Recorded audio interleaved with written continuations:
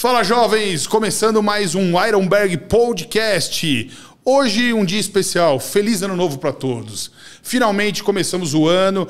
Semana passada nós não tivemos o Ironberg Podcast, tivemos um problema aqui de energia, ficamos sem sinal. Na verdade não foi problema de energia, aconteceu um problema na rua que derreteu a nossa internet. Ficamos sem internet. Infelizmente, quinta-feira passada não tivemos o Ironberg Podcast. Hoje estamos aqui novamente com vocês e eu venho aqui primeiramente dar um recado para vocês que agora teremos o Ironberg Podcast todas as terça-feiras e quinta-feiras. Quinta-feiras é, de forma tradicional, como a gente tem toda quinta é, esse formato de podcast. E na terça-feira, uma novidade, galera. Vai ser a mesa redonda do Ironberg Podcast, onde a gente vai falar sobre tudo sobre bodybuilding. Teremos o Jorlan comandando, como sempre, que vocês estão sentindo falta dele aqui hoje, não está aqui comigo, porque o Jorlan vai estar no comando do, do Ironberg Podcast toda terça-feira junto com o Dr. Caramelo e também Itinho, e sempre vai ter um convidado junto com eles na toda terça-feira. Então agora anotem aí, 7 horas da noite, toda terça, e 7 horas, o novo horário, toda quinta-feira do Ironberg Podcast. E é isso aí, galera. Vou aproveitar dar o meu recadinho aqui dos nossos patrocinadores. Life Strong Energy Drink, fechado conosco na temporada de 2023 aqui. Já vou aproveitar, já vou aqui fazer um brinde, ó. Life Strong junto conosco temporada total de 2023. E, ó, Lucas, tá no o, o QR Code já da, da BW Race, ó. Deixar aqui para vocês, a BW Race também fechada conosco. Temporada de 2023, a cadeira que aguenta esses monstros aqui, igual o Bruninho, 140, o William Martins, 150 quilos, a gente precisou um reforço para nossas cadeiras aqui do Ironberg Podcast. Então, ó, clica no link aí, clica não, né? Coloca o celular, né, Lucas, no, no QR Code, quem quiser adquirir essas cadeiras que foram aprovadas pelos maiores aqui do Brasil. Então, se foi aprovada, vocês podem comprar para ter na casa de vocês. E hoje, galera, estou aqui com vocês pediram, na verdade, e eu trouxe para vocês. Mostra aqui, Lucas, quem está aqui comigo. Tenente, seja bem-vindo. Elva. Primeira vez aqui no Ironberg Podcast. Tenente, vou te falar, hein? Você tem fã, hein, cara? Você é o mais pedido aqui da galera. Que honra. Muita gente pediu Tenente aqui no Ironberg Podcast. Você já participou de, de, um, de um podcast no Flow, né? No Flow Podcast. No Flow, a galera já, já soube, mas nesse podcast acho que foi o Gui com você, o Ramon, o né? E o Ramon. Então a galera falou que era um especial com o Tenente Breno aí, já no membro do time oficial da Ironberg, mas a galera queria você aqui pedindo, quer saber tudo, tenente. O, hoje é o dia para você contar tudo aqui, ó.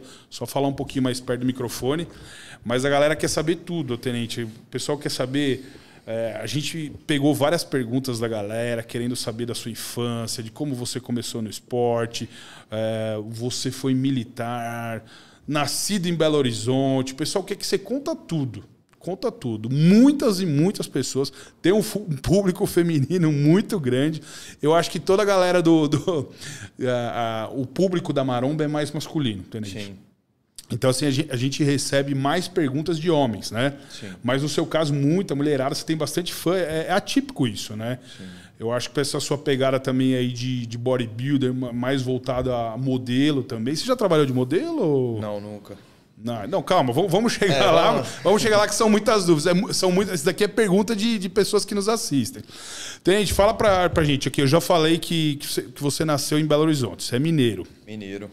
Você ficou em Minas até quantos anos? Porque você veio para São Paulo com quantos anos? De... Na verdade foi assim, Betão. É, nasci em Belo Horizonte, né, Minas Gerais. É. Morei lá até os 18 para 19 anos. Por quê? Porque quando eu fiz 18 anos, eu entrei para o curso de formação de oficiais do Exército, né? E acabei me formando. E no Exército tudo é meritocracia, então tem as classificações dos, dos colocados mas, que fizeram o curso. Mas você entrou no, no Exército, você estudou com 18 na. anos. Ah, com 18 anos. Isso. É um processo... Você fez o tiro de guerra? Não, não. Você não chegou a fazer não, tiro de guerra? Não é tiro de guerra. É, existem vários tipos de processos seletivos para você fazer parte das Forças Armadas, né? Certo. É, quem quer entrar como. Quem quer se formar praça, ele entra pela ESA. Quem quer se formar oficial, ele entra pela SpaceX. Quem faz 18 anos tem que prestar o serviço militar obrigatório. Em algumas cidades que não têm o, o efetivo militar para ter um batalhão, uma organização militar, existem os tiros de guerras e existem os centros de preparação de oficiais da reserva do Brasil todo. Certo. Em algumas, em algumas cidades né, existem e aí formam oficiais que podem servir por durante oito anos no Exército, que foi o meu caso. Eu me alistei com 18 anos, fiz a seleção para o curso de formação de oficiais e passei. Aí fiz esse curso de formação de oficiais em Belo Horizonte ainda, é, e no Exército tudo é meritocracia, existe uma classificação dos alunos. Né? Da minha turma, eu fui o 03 de turma.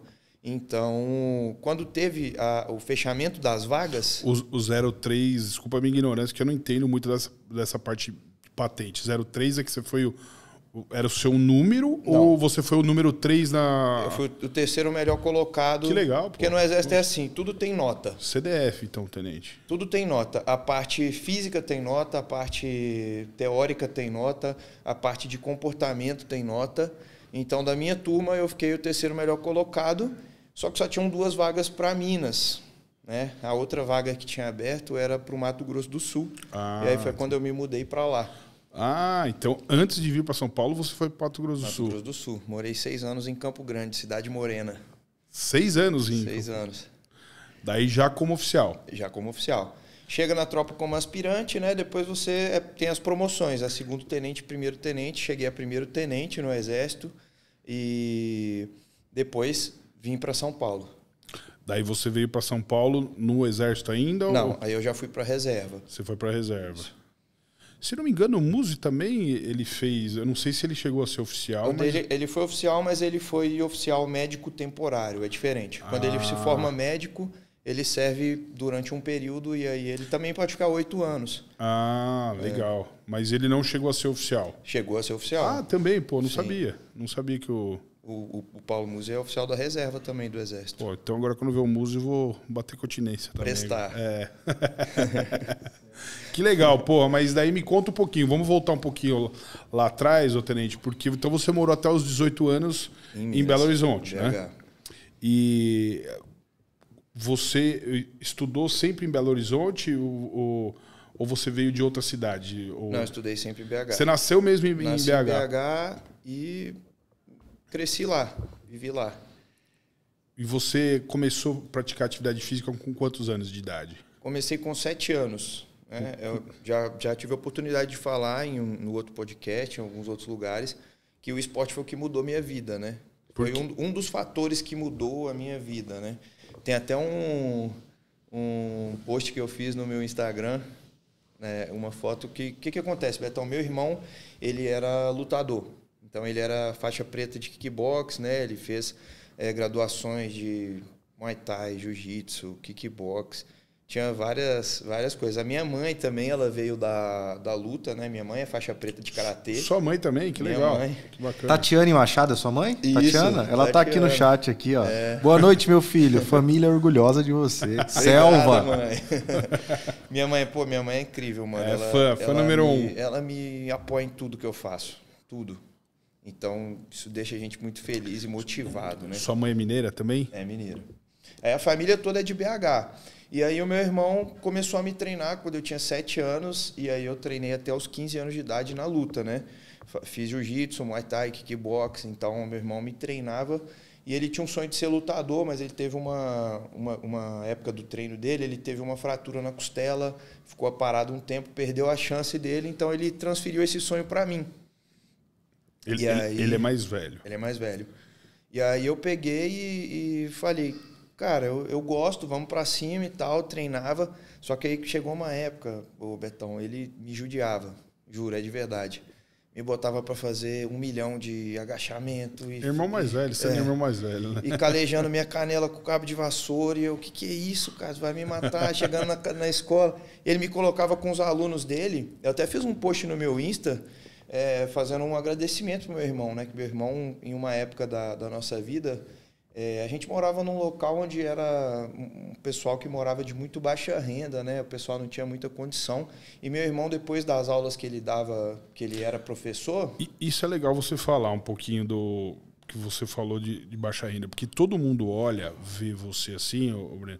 É claro que é um preconceito, preconceito no sentido de, de não conhecer a sua história. Sim. Acha que você era um playboy. É. Tem muita gente que olha assim, tal, talvez por você ser um cara boa pinta, pinta de modelo tal, acha que você é um playboy que, que apareceu, ah, quero ser atleta agora. É. Conta um pouquinho do, dessa parte da infância, até para para mostrar para as pessoas, para as pessoas conhecerem mais da, da, onde veio o Breno, né? É, quem me, quem me conhece, né, quem sempre teve do meu lado, sabe a dificuldade que eu já passei, né? É, hoje, tipo assim, todo mundo tem uma história triste, né? Então, eu parei de expor, de ficar falando, porque já expus, já mostrei para as pessoas, mas as pessoas acham que todo mundo precisa se passar de coitado para ter algum reconhecimento. Não, não é coitado, não é. é. mais contar história. Mas é, é, uma, é uma superação que eu tive na minha vida. Tipo, pô, eu vim de uma família muito humilde, né? É, minha mãe, mãe solteira, com três filhos em casa, depois mais um. Então, foi difícil a infância. É, minha irmã teve um problema de saúde, meu irmão é, desviou um tempo dos caminhos e minha mãe sozinha, eu tinha que cuidar da minha irmã, e aí teve mais uma irmã novinha. Então foi uma, foi uma infância bem difícil, cara. Minha mãe nunca teve um carro na vida, tipo, para ver o nível, né? Tipo, nunca teve um carro. A gente morou de aluguel até quatro anos atrás, ela não tinha casa. É, graças a Deus, depois que eu entrei pro quartel, eu consegui comprar um apartamentozinho para ela, né? Que legal. E então foi uma, foi uma infância assim, Betão. Eu morava numa casa com meu pai, depois que minha mãe separou do meu pai, a gente mudou para um apartamento alugado de dois quartos e morava eu, meu irmão, minhas duas irmãs, minha mãe, e dividindo ali quarto, dividindo as coisas. Situação bem, bem feia, cara. É, eu falo, né? Teve uma época na minha vida que, infelizmente, lá em casa a gente. O que tinha de, de proteína era um hambúrguer da sadia de 59 centavos um steak, às vezes minha mãe dividia no meio, às vezes ela ficava sem comer para a gente poder comer. E, pô, não. É, é uma superação incrível na nossa vida. Porque tudo começou a caminhar, tudo começou a melhorar. E graças a Deus minha mãe depois estudou, né, se formou, hoje ela é técnica em enfermagem. O meu irmão, ele se mudou para a Espanha, ele mora lá hoje, tem a família dele. O que te batia ou não? O que me batia. Pô. É. Foi para fora. te treinava, né? Treinava, te treinava, te é. treinava. Eu treinava meus irmãos também assim. É. Eu, e é, era desse jeito. E aí ele, pô, às vezes pegava pesado. Mas aí, Betão, é, a situação lá em casa foi bem difícil por muito tempo. Eu comecei a trabalhar muito novo, né, na verdade. Com 14 anos eu já trabalhava numa loja de suplemento. Olha que engraçado. De suplemento? Suplemento. Que, que ironia. O dono pô. da loja é. morava no meu prédio e ele vendia suplementos. Era uma... Com 14 anos você não fazia musculação ainda, eu já fazia? Não. Né? Com 15 só, anos eu iniciei luta. a musculação. Com 15. Isso. Mas você começou a trabalhar em loja de suplemento. suplemento com 14 mas anos. o que, que você fazia na loja? Eu ficava adicionando pessoas no Orkut, que na época era o Orkut. Um milhão de pessoas, o dia todo adicionando pessoas para ele poder fazer a propaganda da lojinha dele. E daí você fazia isso, então? Aí ele me pagava 60 conto por semana. Por semana? Não dava nada. Foi o primeiro emprego. Não, mas, pô, a gente tá falando aí de 12 anos atrás. É. 12 anos atrás, né? Fazia alguma coisa, né? É. Fazia, não, ajudava. É. Então, ajudava, na, ajudava em casa. Ajudava, dava... ajudava a minha não... mãe e ajudava eu comprar o meu frango. Eu não sei, é, eu não sei hoje, mas uns 12 anos atrás o salário mínimo eu não dava um salário mínimo ou não? Não, Você, não, não chegava? chegava nem perto, um, quarto de um salário, eu acho. Era, Já era. era. Agora eu não me recordo quanto que era é. o salário mínimo há 12 anos atrás, é. né? Mas era, era bem pouquinho, dava para quase nada, né? Mas era o suficiente ali. E era o começo, né? E aí eu trabalhei, pô, eu trabalhei de, de garçom, eu trabalhei de animador de festa infantil, monitor de festa infantil. Então, dos 14, né, que eu comecei até os 18, pô, eu fiz vários trabalhos, mano. Porque eu precisava daquilo, né? Eu via, minha mãe não tinha condição de comprar uma roupa para mim, um negócio, então eu tinha que correr atrás. Eu ajudava ela com um pouquinho, sempre ajudava com um pouquinho, mas aí quando eu entrei para academia, eu falava assim, mãe, Agora tem uma coisa que eu preciso, é comprar minha dieta, porque eu quero fazer dieta.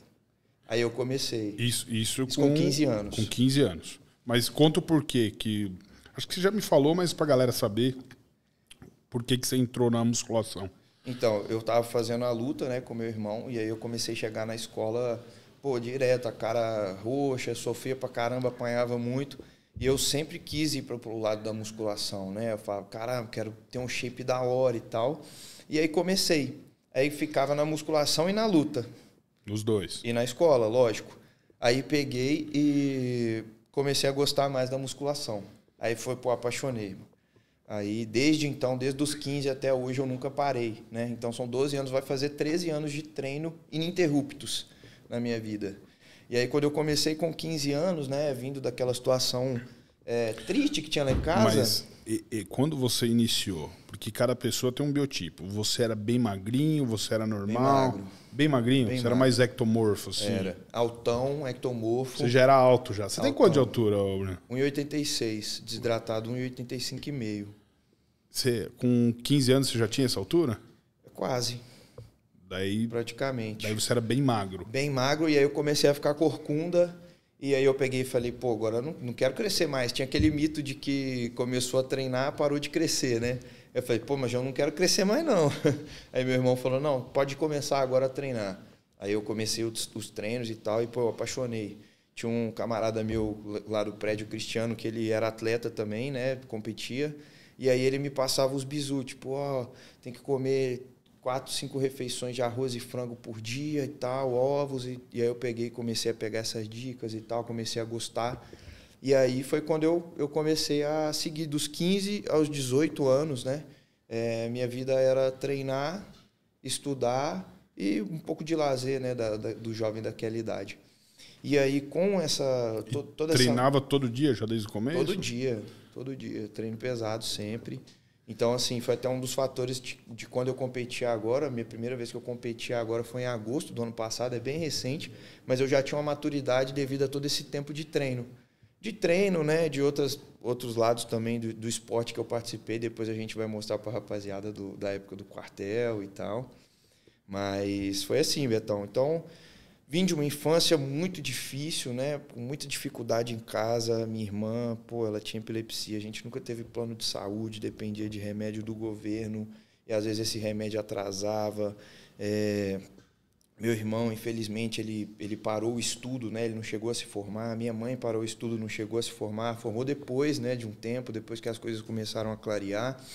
É, meu pai, infelizmente, nunca foi presente por conta dos problemas dele, né? Foi dependente químico muitos anos, então eu tinha alguns traumas da minha infância que foram bem difíceis. Eu internei meu pai dos, dos 7 aos de 17 anos umas seis vezes. Caramba. Então aquilo, aquilo era muito difícil para mim, principalmente naquela fase que eu era, eu era um jovem, eu era um, uma criança, entendeu? E já tinha que lidar com tudo isso, e a responsabilidade de ver em casa a coisa difícil e tal. Então eu comecei a virar uma chave para buscar alternativas para eu poder mudar de vida realmente. Isso adolescente, né? Adolescente. Adolescente.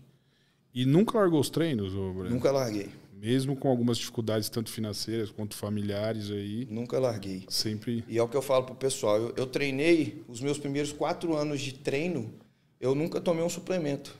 Eu trabalhava na loja de suplemento, o único suplemento que eu tomava era quando ia vencer um suplemento e o dono falava, pô, pega aí esse whey pra você, pega esse malte e tal. Ou quando eu sobrava um dinheirinho, eu falava, ah, vou comprar um animal pack vencido, alguma coisinha. Era suplemento próximo do, do vencimento, que era mais barato. E foi assim, cara, por muitos anos. Então, o, o, meu treino era alimentação e treino, era na raça, mano. Então, hoje as pessoas às vezes ficam, pô, eu não tenho dinheiro para suplemento, sei lá o que. Eu falei, pô, se você visse meu, o meu físico quando eu tinha 17 anos, eu não tomava suplemento e tinha um físico muito bom. Então, é mais da dedicação. E aí a dedicação, a disciplina começou é. a ser muito presente na minha vida desde cedo, entendeu? O exército reforçou muito isso, mas eu já vim de uma família organizada. Minha mãe me ensinou a ser assim, quando ela ela tinha que trabalhar, eu tinha que cuidar da minha irmã mais nova, ela falava: "Breno, lava o banheiro, arruma a cozinha, arruma a casa para mim porque eu não tenho quem faça, então vai ser você". Ah, então já tinha as tarefas. O, tarefas. o exército começou dentro de casa. Dentro então. de casa, é a General Tatiana. é, a bicha era brava, mano. Só vai sair de casa para jogar bola quando você tiver lavado o banheiro. Não, então, então você foi um passeio. O exército foi um passeio. Foi um passeio. Pra, foi um passeio. Não, é sério. Tanto, pra, em questão de organização, teve um dia que teve uma, uma. Os instrutores pegaram e foram fazer uma vistoria nos armários, né? Aí abriu o armário da rapaziada, cai no tênis, calça, os negócios. Aí abriu o meu, tudo organizado. Aí o cara falou, o sargento na época, ele, pô, aluno, você é organizado assim mesmo? Eu falei, sou. Sim, senhor. De onde? Da minha mãe. Me obrigava a fazer as coisas. aí, mas aí quando eu entrei no exército, eu falei com ela, ó, oh, mãe, agora a partir de hoje, infelizmente, eu não sou mais, não vou fazer mais serviço de casa, não vou lavar mais banheiro, nem nada. Ela, tá bom, meu filho, já me ajudou muito. Isso, 18 anos de idade. Isso. Como, como que, conta um pouquinho, quem te incentivou a entrar no exército? Foi sua mãe, meu por esse lado? Ah, foi seu avô, não meu foi? Avô. Foi o, e conta pra gente como meu que foi. Meu avô e meu irmão. O seu irmão mais velho? Mais velho. Você tem duas irmãs e um irmão. Foi ele também serviu o exército ou não? Não. Ele, o sonho dele era servir. O do meu irmão, o sonho dele era servir, mas ele não pôde na época, né? Já tinha alguns, alguma, alguns BOzinhos. Tinha tido os problemas, é, daí não, não, não deu para seguir. Não deu. Mas daí foi o seu avô, então, e o seu irmão? Isso, me, me colocaram pilha. Eu não queria no primeiro momento. Seu avô teve alguma passagem da vida dele no exército ou não? Não, mas ele, ele é apaixonado, né, pela, pela força, pelas forças armadas, na verdade. Que legal. Principalmente da aeronáutica, um, um cara muito sábio, muito inteligente, um cara que me ajudou muito, que sempre me instruiu, né? Fez um papel ali muito importante na minha vida. Foi o pai da sua mãe. Isso. É, foi como um pai para você, foi assim. como quando... um pai. Então ele cuidava da gente, né? Eu e minha irmãzinha, quando a gente precisava é, ficar em casa e minha mãe tinha que viajar para algum trabalho, alguma coisa, e meu avô que vinha cuidar. Então, sempre foi uma, uma pessoa que eu me, me inspirei muito, né? Por causa dos ensinamentos, da pessoa boa que ele é, de tudo que ele sempre me passou, me transmitiu de ser uma pessoa honesta, justa, né? Com a esposa dele que faleceu e depois ele não arrumou outra esposa. Então, ele é um, foi um cara que eu sempre olhei ele e falava: caramba, mano, meu avô é, é foda, é tudo para mim. Referência. Né? Referência. Né? E aí, que bacana. E aí ele me, me colocou pilha, ele e meu irmão. Mas eu não queria no começo. No começo você não queria? Não queria. Eu queria ir morar fora. Eu queria morar nos Estados Unidos, tentar a vida lá e tal, ir para trampar mesmo e tal. E sonho americano, né, de é, muitos brasileiros, De muitos né? brasileiros. Eu via como uma alternativa, então eu não, não conhecia muito bem como que era o lado do exército. Então eu fui aprender mesmo lá. Então eu fui um cara que caí de paraquedista lá na, na, na seleção. O, o exército, quando você entrou com 18 anos, era período integral ou era só durante o dia que você ficava no, no, nesse período de aprendizado? Assim? Depende. No início tem uma fase de internato. Aí tem um tempo de internato que a gente fica todos os dias lá e só sai no final de semana. Aí depois ele tem um horário mais flexível, principalmente o curso, esse centro de preparação de oficiais da reserva, ele tem um horário flexível porque o aluno que está fazendo o curso de formação, ele tem que estar tá inscrito na faculdade.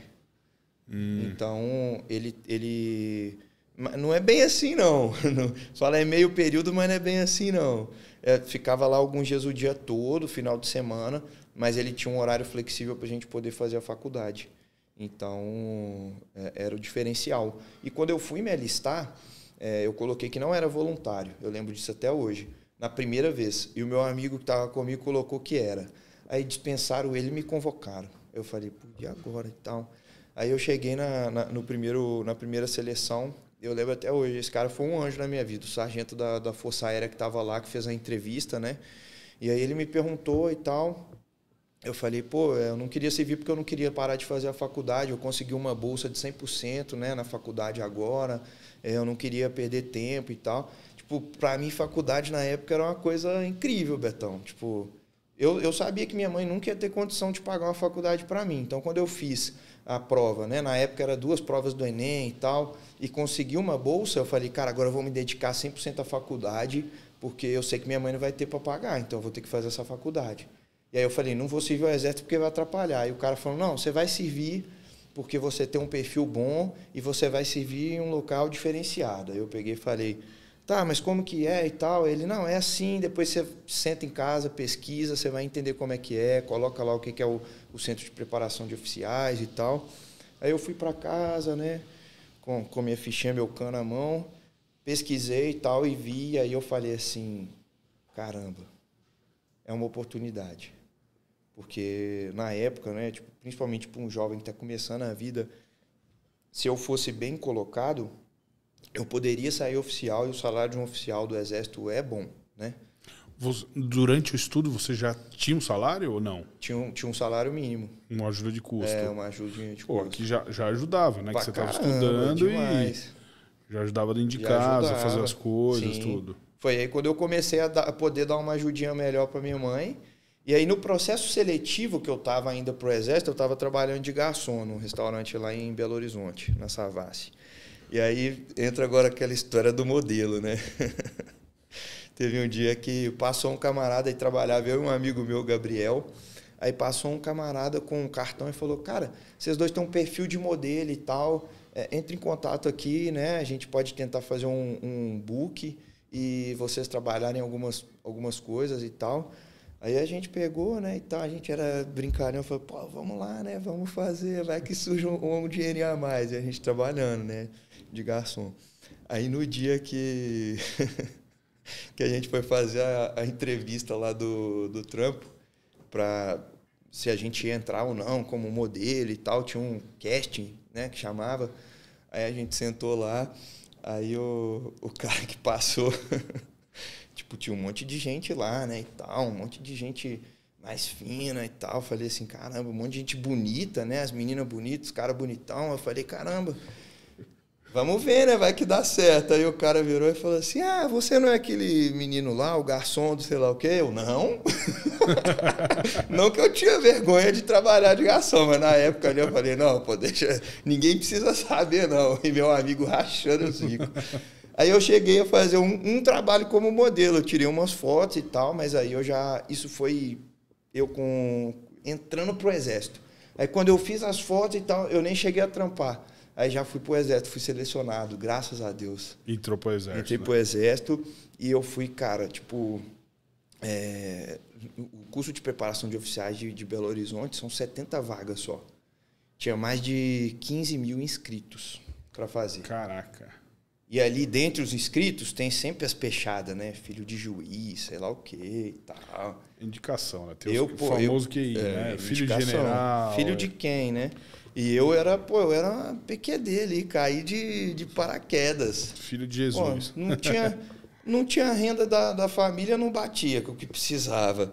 Era, pô, fudido. Não tinha carro, não tinha nada. Aí os caras, tá, mas por que que você quer servir? Aí eu já, aí eu já mudei. Agora eu quero. Eu quero e eu vou ser o melhor disso aqui. Com que armamento que você quer atirar? Eu quero atirar de ponto 50. Aí o, o- na época era o tenente Johannieri. Aí ele, moleque diferenciado, né, e tal. E na época eu já era forte. Aí, pô, do, do- da, de toda a seleção tinha três caras fortes, eu era um dos três. Aí, pô, eu com 18 anos já tava dobradão, pô.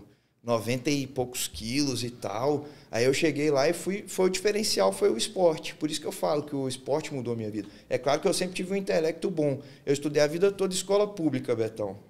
Da primeira, a- do, do primeiro à oitava série, eu estudei na Escola Municipal Francisco Magalhães Gomes, na, em Venda Nova, ali em BH. O primeiro, segundo e terceiro ano no- na Escola Estadual Santos Dumont. Eu fui fazer as provas lá do CPOR eu tive a melhor menção. Uma das melhores menções. Caramba. É, E- Então eu me, eu me dedicava, eu era um cara que eu, eu assistia, eu gostava, aprendia, e aí eu me destaquei tanto nas provas quanto no físico. No físico eu deitei, porque eu trouxe dos 7 aos 15 a bagagem da luta, dos 15 Que é até con- os 18, Condicionamento, a luta traz condicionamento, resistência, tudo. condicionamento forte, né? Tudo, Resistência, tudo. for. Meu irmão botava para fazer tiro de explosão, dar a volta lá no, no E, pátio. e nos testes? Co- co- Como que você se destacou nos testes? Porque você tem o teste físico também. Teste físico. Aí foi no teste que eu me destaquei. Você foi super bem também. Aí os caras falam, pô, esse moleque é, é, é, é maluco. CDF. Ele é, ele é bom de, do papiro, né? Que eles É. falam papiro é o estudo. Na entrevista, pô, me demonstrei totalmente interessado, né? Em querer é, tanto aprender quanto melhorar a minha vida. E no teste físico eu, eu explodi, mano. Tipo, tinha lá flexões, aí eu, eu fazia cento e poucas, abdominal, 400 e poucos, barra, 13 barras. 13 barra era muita barra na época, para quem nunca tinha feito barra direito. É, corrida não era tão bom, porque eu era pesado já, né? Como eu falei. Mas aí peguei e me destaquei. E principalmente na parte de esporte. Eu nunca tinha feito nenhum esporte na vida, Betão. Esporte coletivo, você, É, você diz assim. De, de esporto, né? De É. atletismo, essas coisas. A única coisa que eu tinha feito era jogar futebol na escola, queimada e vôlei, porque é o que tinha em escola pública. É, era educação física escolar, Educação né? física escolar. E aí peguei e falei, eu quero fazer o teste de tudo. Aí os caras, tá bom, então, vai lá. Vai fazer a natação. Aí cheguei lá, mano, tinha uns caras que nadavam, os caras já chegou, botou toquinho e tal, óculos. E eu olhando assim, os caras nadando e pum, levantando a cabeça, eu pulei na piscina e prrr, fui na raça, saí da piscina a perna até roxa, só que na explosão fui o melhor. Aí os caras, caramba, o cara nada bem. Aí vai para arremesso de granada, que é um arremesso de peso, né, que tinha lá. Aí eu arremessei longe pra caramba, os caras falaram, pô, esse moleque tem que entrar. Não tem Se como destacou, né? se destacou. Aí eu, eu entrei pro, pro curso de formação e me dei muito bem lá dentro, porque eu fui depois que a gente faz o período básico, tem toda a formação e tudo mais, a gente vai para a nossa área específica e eu fui tipo o 01 de todas as provas teóricas, né? Eu fui atleta do, do exército nessa época. Dentre todos os cursos de formação do Brasil, eles se reúnem anualmente para fazer uma Olimpíada. E eu fui o atleta que foi representar Belo Horizonte no arremesso de peso. Aí tem até um vídeo do, do arremesso de peso aí que eu mandei pro Lucas. Ó, isso aí eu tinha 18 anos, Betão, 2014, Tá em? São Paulo. Tá no ar, ô Lucas? Vamos ver. Vamos ver que vai subir pro ar aí pra vocês verem. Aí o pessoal já tem uma dimensão, né? Eu já era forte, ó. Ó. Eu era atleta do, do arremesso de peso, então Isso com, tinha 18 anos aí? 18 anos, no, no meu ano de formação.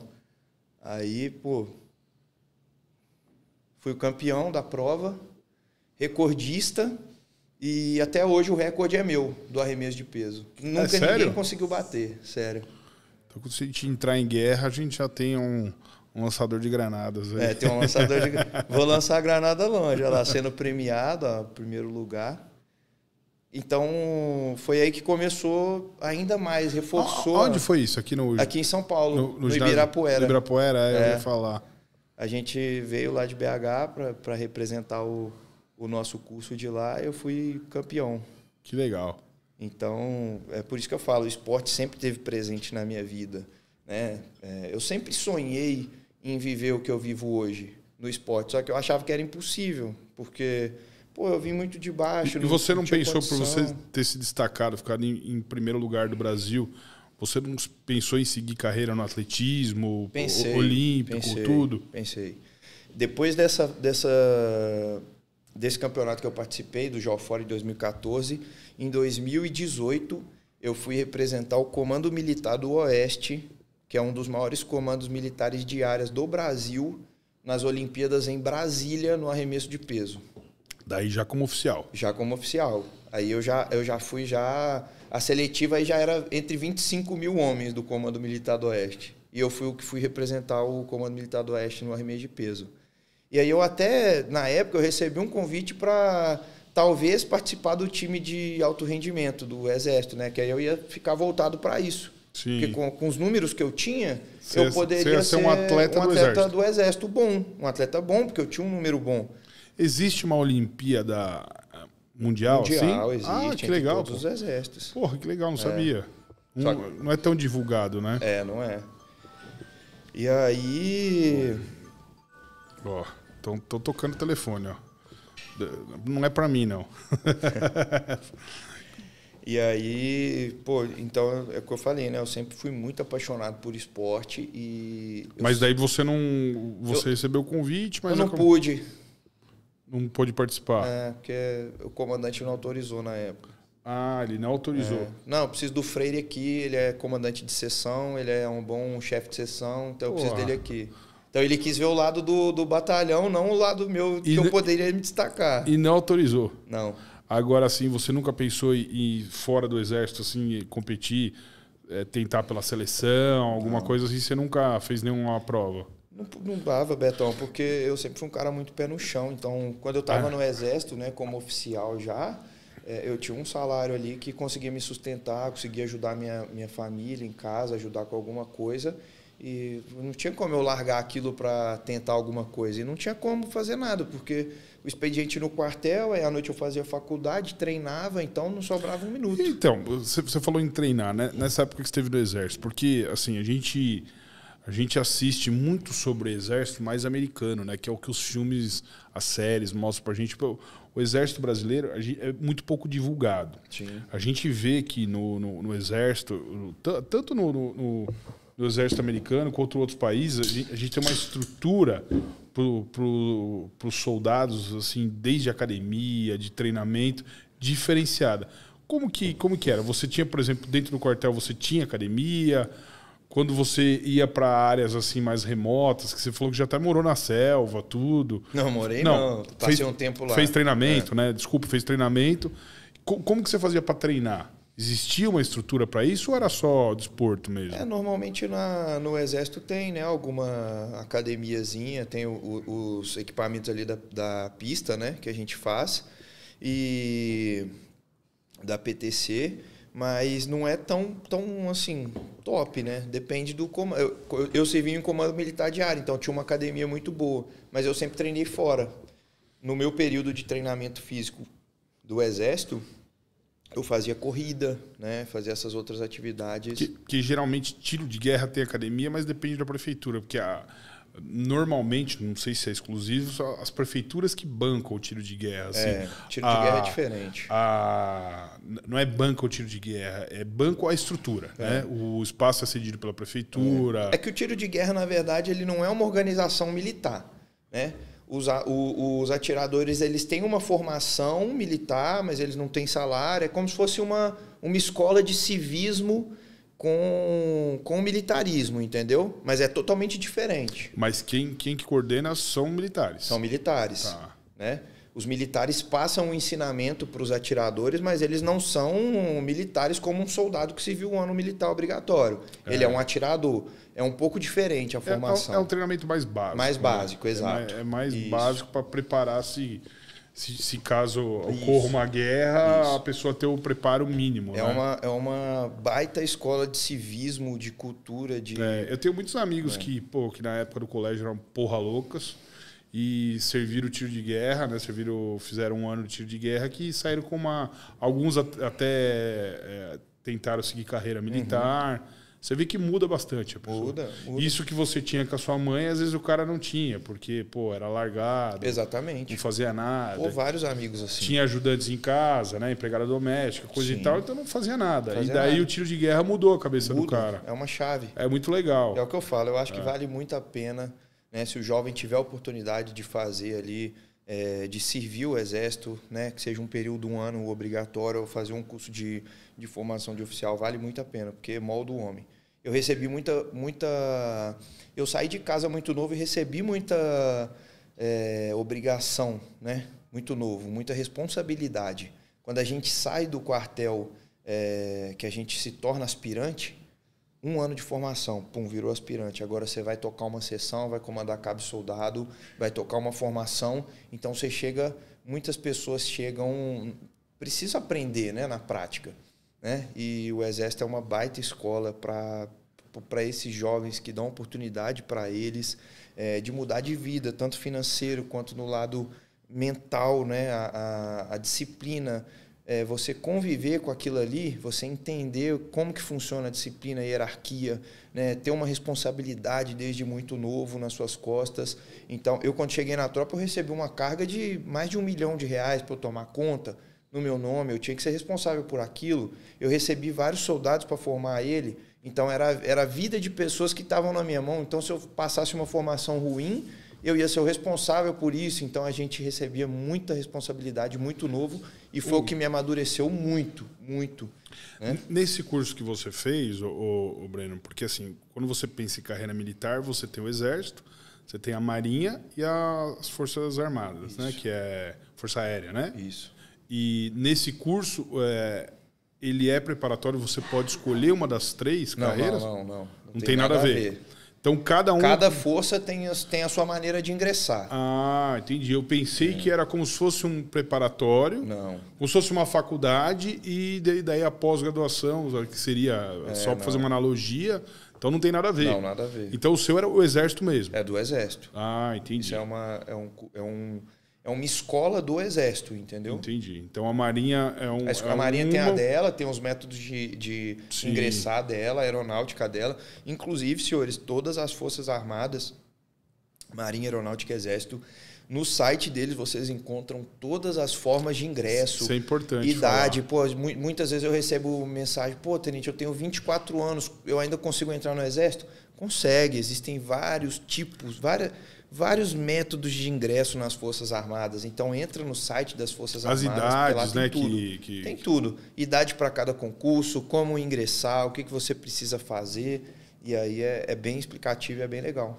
É, e- já mostrando né, o que, que a gente falou bastante aqui com o tenente, que você tem que ter um preparo físico adequado, né? É, tem que ter. Senão não adianta. Se você é sedentário, não só em forma, né? Mas você precisa ter um preparo É. Precisa. físico, é um soldado, né, galera? Porque é um faz parte da. Para você entrar, você precisa ter um bom desempenho físico e durante a sua permanência você também precisa, porque anualmente o militar é avaliado três vezes no ano com o TAF, que é um teste de aptidão física. Ah, é? É, e se ele tiver ruim, se ele for temporário, ele é mandado embora. E, e Se ele for de é? carreira, ele perde conceito. Explica bem resumidamente, pessoal, como que é esse TAF? São quantas provas? Anualmente, corrida abdominal, barra e flexão. Então a pessoa tem que fazer uma menção mínima ali, É aquele, corrida é aquele teste de Cooper? 12 minutos. É o teste de Cooper. Não, né? não, é uma corrida em 12 minutos.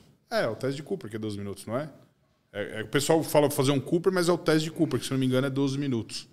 Agora eu É não uma lembro, corrida, cara. né? É. Uma Não é de corrida, 2 de 12 km e minutos. 400, é esse? Ou tem Não, depende da idade, né?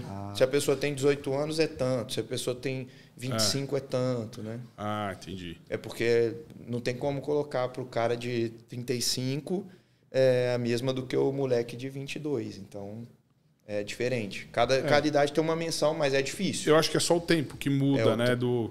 é, se não me engano, é, depois procura aí, Lucas. Faz tanto tempo, mas eu acho que eu aprendi isso na faculdade. Que se não me engano é o teste de Cooper que é, que, que é, que é usado. Mas, mas depois a gente olha.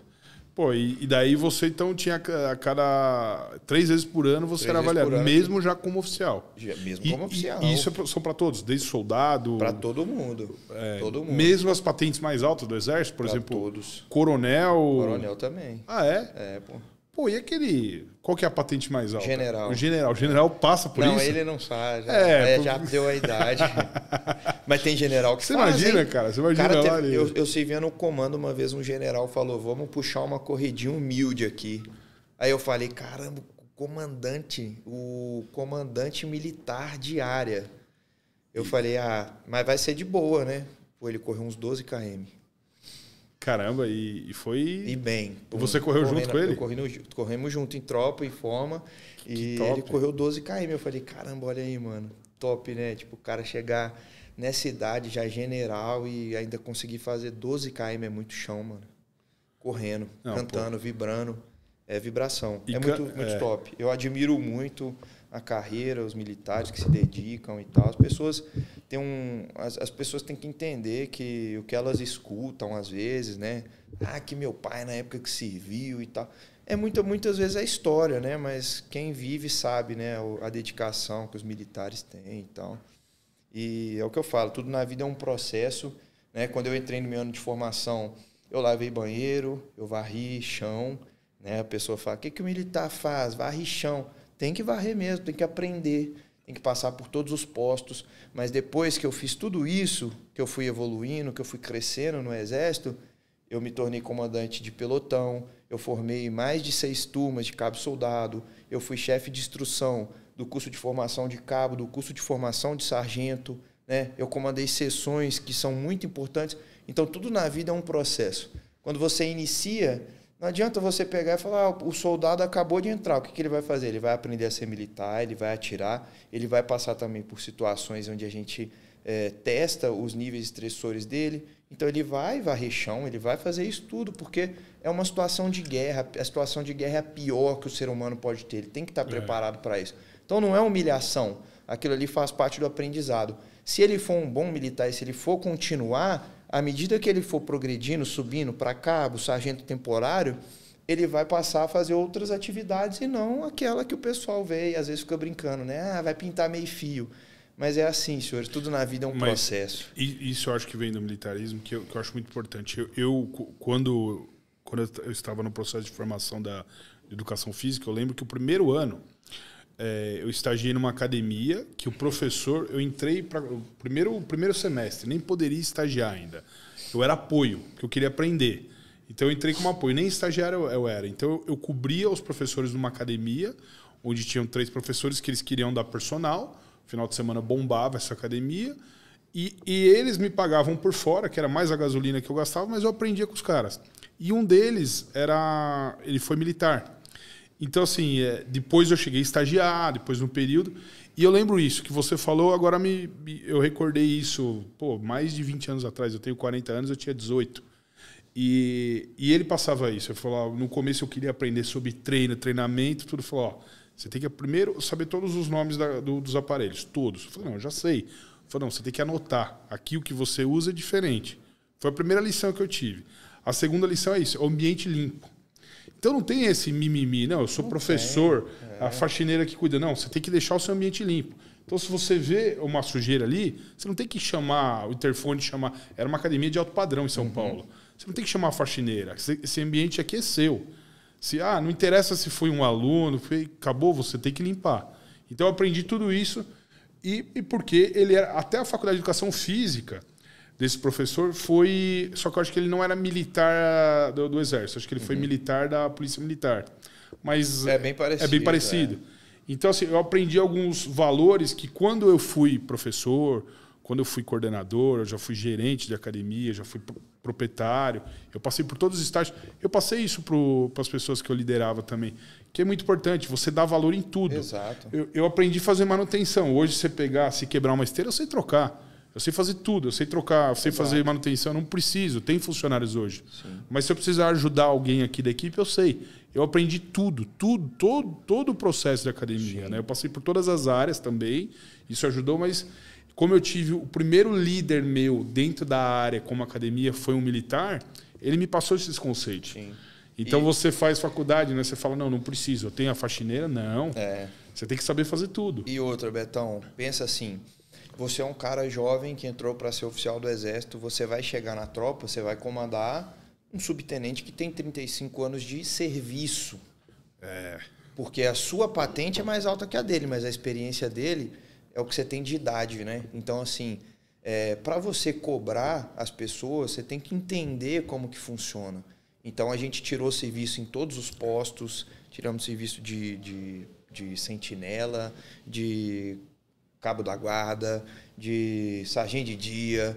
Então a gente passou por todos os postos, a gente sofreu, pô. No, no, no primeiro ano é sofrimento mesmo, não é mentira não. E depois para a gente poder entender, né, e cobrar um dia. E tem, tem um, um, um, ensinamento, né, que eu levo também do exército. Eu gosto de passar algumas dessas experiências que no dia que eu fui para minha primeira entrevista que eu cheguei na guarda do quartel, que era no 12BI de Belo Horizonte, 12 Batalhão de Infantaria. Eu cheguei lá e, na humildade, né, fui perguntar para um, um soldado que estava lá na porta: é, Cara, eu vim aqui me apresentar, é por aqui mesmo que eu entro? O cara já chegou, mano, me esculachando: Sai daqui, seu maluco, vai pro outro lado, é lá em cima, sei lá o quê, tá maluco e tal. Aí eu falei, caramba, é que eu não sei, eu preciso me apresentar e tal. Some daqui, é lá atrás e tal. Eu falei, caramba, esse cara me humilhou ali, né? Pô, me chamou de, de playboy, de sei lá o quê. Falei, cara, o cara nem me conhece, né? Mas beleza. Aí peguei, fiz a, a formação e tal, fiz a seleção. Depois desse ano, me formei e voltei para fazer o meu estágio de oficial no mesmo quartel que eu me apresentei a primeira vez. Aí quem que eu encontrei lá? Esse cara. Esse cara. Só que eu agora como tenente. E, e ele como soldado. E ele Aí soldado. ele olhou para mim assim, roxo, né? Caramba, ele lembrou que ele me humilhou, que ele fez por toda aquela palhaçada e tal. Só que eu dei um tapa de luva. Eu falei, cara, você lembra o que você fez lá comigo lá atrás? Se eu, se eu quisesse agora, eu ia te pegar, te, te sacanear, te colocar para dobrar posto, fazer um monte de coisa. Mas não, pô. Isso é para você aprender a não tratar os outros assim. E é uma coisa que eu vou levar também, que eu vi você fazendo comigo, eu não vou fazer com ninguém. E aí eu fui para quando eu cheguei para Campo Grande e tal, eu fui para uma sessão e lá no, nessa sessão tinha um subtenente, né, o Capitão Marcos, que foi um pai para mim no exército, que quando eu cheguei na sessão, eu era já tenente e ele era subtenente. Quando chega um tenente novinho assim e tal, às vezes tem uns que chega empolgado, né? Já chega, ô, sub e tal, que sei lá o que vai fazer isso, tá de missão, que sei lá o que. Eu cheguei sempre no sapatinho, cara. Porque eu lembrava dessa coisa que tinha acontecido lá atrás. Então, em qualquer, isso é para qualquer área da vida, né? Você É. não sabe a volta que o mundo pode dar. O mundo dá voltas. Quando né, eu cara? cheguei lá, Betão, ele era subtenente. Eu falei, pô, Sub, eu tô chegando aqui, né? Sou seu superior por conta da, da patente, mas eu tenho muito a aprender contigo. Será que você pode me dar uma força e tal? Aí ele já viu com olhos diferentes. Ele falou, pô, esse moleque é parceiro, não é esses oficial bundão que chega, não, né? Aí, pô, ele começou a construir e tal. Ele foi um cara que me. Foi como um pai para mim no Exército. Ele me ensinou muita coisa do lado financeiro, declaração, eh, me ensinou coisa para a vida, né? É um cara que me, me, me tirou de quando eu fazia coisa errada, ele me puxava. Então, ele me abraçou como um pai. Eu ganhei um pai no Exército e a promoção dele era mais rápida que a minha. Quando eu entrei, ele era sub, né? No meu último ano, ele tinha sido promovido a capitão e eu era tenente, porque ele era QAO. Ele saiu, ele era sub, aí ele saiu segundo tenente, primeiro tenente capitão. Ele me passou na patente. Aí ele virou para mim e falou: "Você é um cara que aqui fora do quartel, você nunca precisa me chamar de senhor, porque quando você chegou lá atrás, né, você não foi bundão. Você falou que tinha muito a aprender comigo, a gente construiu junto e tal. E a gente, pô, é isso que eu falo. O- o- a maneira que você chega em qualquer lugar da sua vida, né? Você tem que saber chegar, você tem que saber respeitar todo mundo, desde quem tá lá embaixo até quem tá lá em cima. É. E por isso que eu sou, eu gosto muito de absorver o conhecimento de todo mundo, que a gente pode aprender com todo mundo. Mas- E, e essa pessoa que tá lá embaixo, amanhã ela pode estar lá em cima. Mas eu vejo isso você falando aqui, eu, eu recordo o seu dia a dia aqui, porque nesse meio que a gente tá, a gente vê muita gente bacana desse jeito nas câmeras. Mas quando no dia a Fora, dia é é. totalmente. E eu vejo exatamente isso em você, Tenente. Não é porque a gente está aqui ao vivo aí para milhares de pessoas assistindo, mas eu vejo exatamente isso. O que você fala aqui é o que você é no dia a dia. É o que eu faço. E, e- e isso era para ser para todos, né? Mas infelizmente não, não, não nosso- só no nosso meio, né? A gente pessoas que são conhecidas, você tem uma mídia muito grande, mas você é assim exatamente como você é nas câmeras, você é respeitoso, é educado, trata as pessoas super bem. Eu acho que esse é um dos motivos que você vem crescendo a cada dia mais e mais e ganhando público como um todo, né? É gratidão, Betão. é a, um- gente, a gente. E é um dos motivos porque você está conosco aqui também, né? Eu Porque fico muito feliz. A gente avalia muito isso, a gente aprecia muito isso. É o que é esperado para fazer parte do, do time da Ironberg, né? Eu fico muito feliz e é o que eu falo, né? Hoje eu vivo a minha verdade. Eu faço o que eu sou, eu sou quem eu sou, o que eu posto é o que eu sou, é o que eu faço, eu não preciso forçar nada. Então isso para mim é muito gratificante e o propósito que eu vivo hoje de é, a partir do momento em que eu vi que o meu conteúdo, as coisas que eu posto motivam pessoas, né, ajudam pessoas, aí que me deu um gás a mais, porque eu falei, cara, se Deus me deu a oportunidade de fazer isso, de alguma Sim. forma ajudar pessoas, eu vou viver esse propósito até o fim. Então, crítica, é, gente que fala mal sem me conhecer, gente que me julga, gente que vê de fora e, e tem preconceito, isso é tipo é muito pequeno perto do propósito que Deus tem para mim, que eu sei que Ele vai me colocar e o tanto de pessoa que a gente vai poder ajudar, né, com esse projeto aqui, o pessoal podendo acompanhar a nossa trajetória desde o início, né, com, com dedicação, com disciplina. E é, eu acho que é isso, Betão. É a gente Vamos, vamos falar sobre isso, ô, Breno, mas assim, eu queria dar uma pausinha. Primeiro, ô, Lucas, ho- hoje vai ter rango pra galera ou não? Fala aí que, que como a gente quinta-feira passada, eu não sei se chegou a comida pra gente aí, não comeu. Será que vai ter um ranguinho hoje? Porque eu vou te falar, você tá liberado pra comer, ô Breno? Não, já falei com o Lucas que se tiver é 150 gramas de sashimi de salmão e os legumes. Aí sim, hein? O Stefan liberou isso aí só? Só. Ô, louco. E um hot roll? Não, mas Não, pe- é- pede que eu coma a parte dele, tá? Apesar que eu comecei a dietinha, mas é. Pô, hoje. Hoje é podcast, né? O podcast libera, né? O meu coach. Meu coach. meu coach é o, é o Heitor Galvão, cara. Ó, Ele- não vai sujar o Heitor Galvão, não, não. não, não vou sujar. E- e- e- se, se vocês me verem secar daqui pra frente, é gra- graças ao Heitor Galvão. Pô, mandem direct pra ele. Aquele que cuida da minha dieta. Mas, galera, deixar aqui, ó, mais uma vez, né? A gente não pode deixar de falar dos nossos patrocinadores. Life Strong, fechada conosco a temporada de 2023. Coloca aqui o QR Code, já tá, Lucas? Ó, BW Race, as cadeiras oficiais aqui da, do Iron Bag Podcast. Cadê aquela. A, a, a, sacolinha não tá aqui, né? Eu queria falar sobre um parceiro que não é um patrocinador nosso, mas. Ah, tá na outra tá sala. Tá aberto né? lá? Tá aberto lá? A FJR, né? FJR iPhone, é o Flavião, cara. A galera, inclusive, tá perguntando do Pantera aqui. A gente tem uma surpresa é... para ele daqui a pouquinho. Ó, a gente vai gravar um vídeo, galera. Eu não posso dar spoiler para vocês, mas a FJR, ela é um parceiro é, oficial da academia, não é patrocinadora. Mas é o Muse, Ramon, vários atletas aqui compram o seu iPhone e tudo que é relacionado à Apple com a FJR. A gente comprou os computadores aqui da, do podcast, a gente já comprou várias coisas. Eu comprei meu Apple Watch com, com eles. Então, assim, a gente sempre que tem uma condição especial, os melhores preços aí do, uh, para os produtos do Brasil.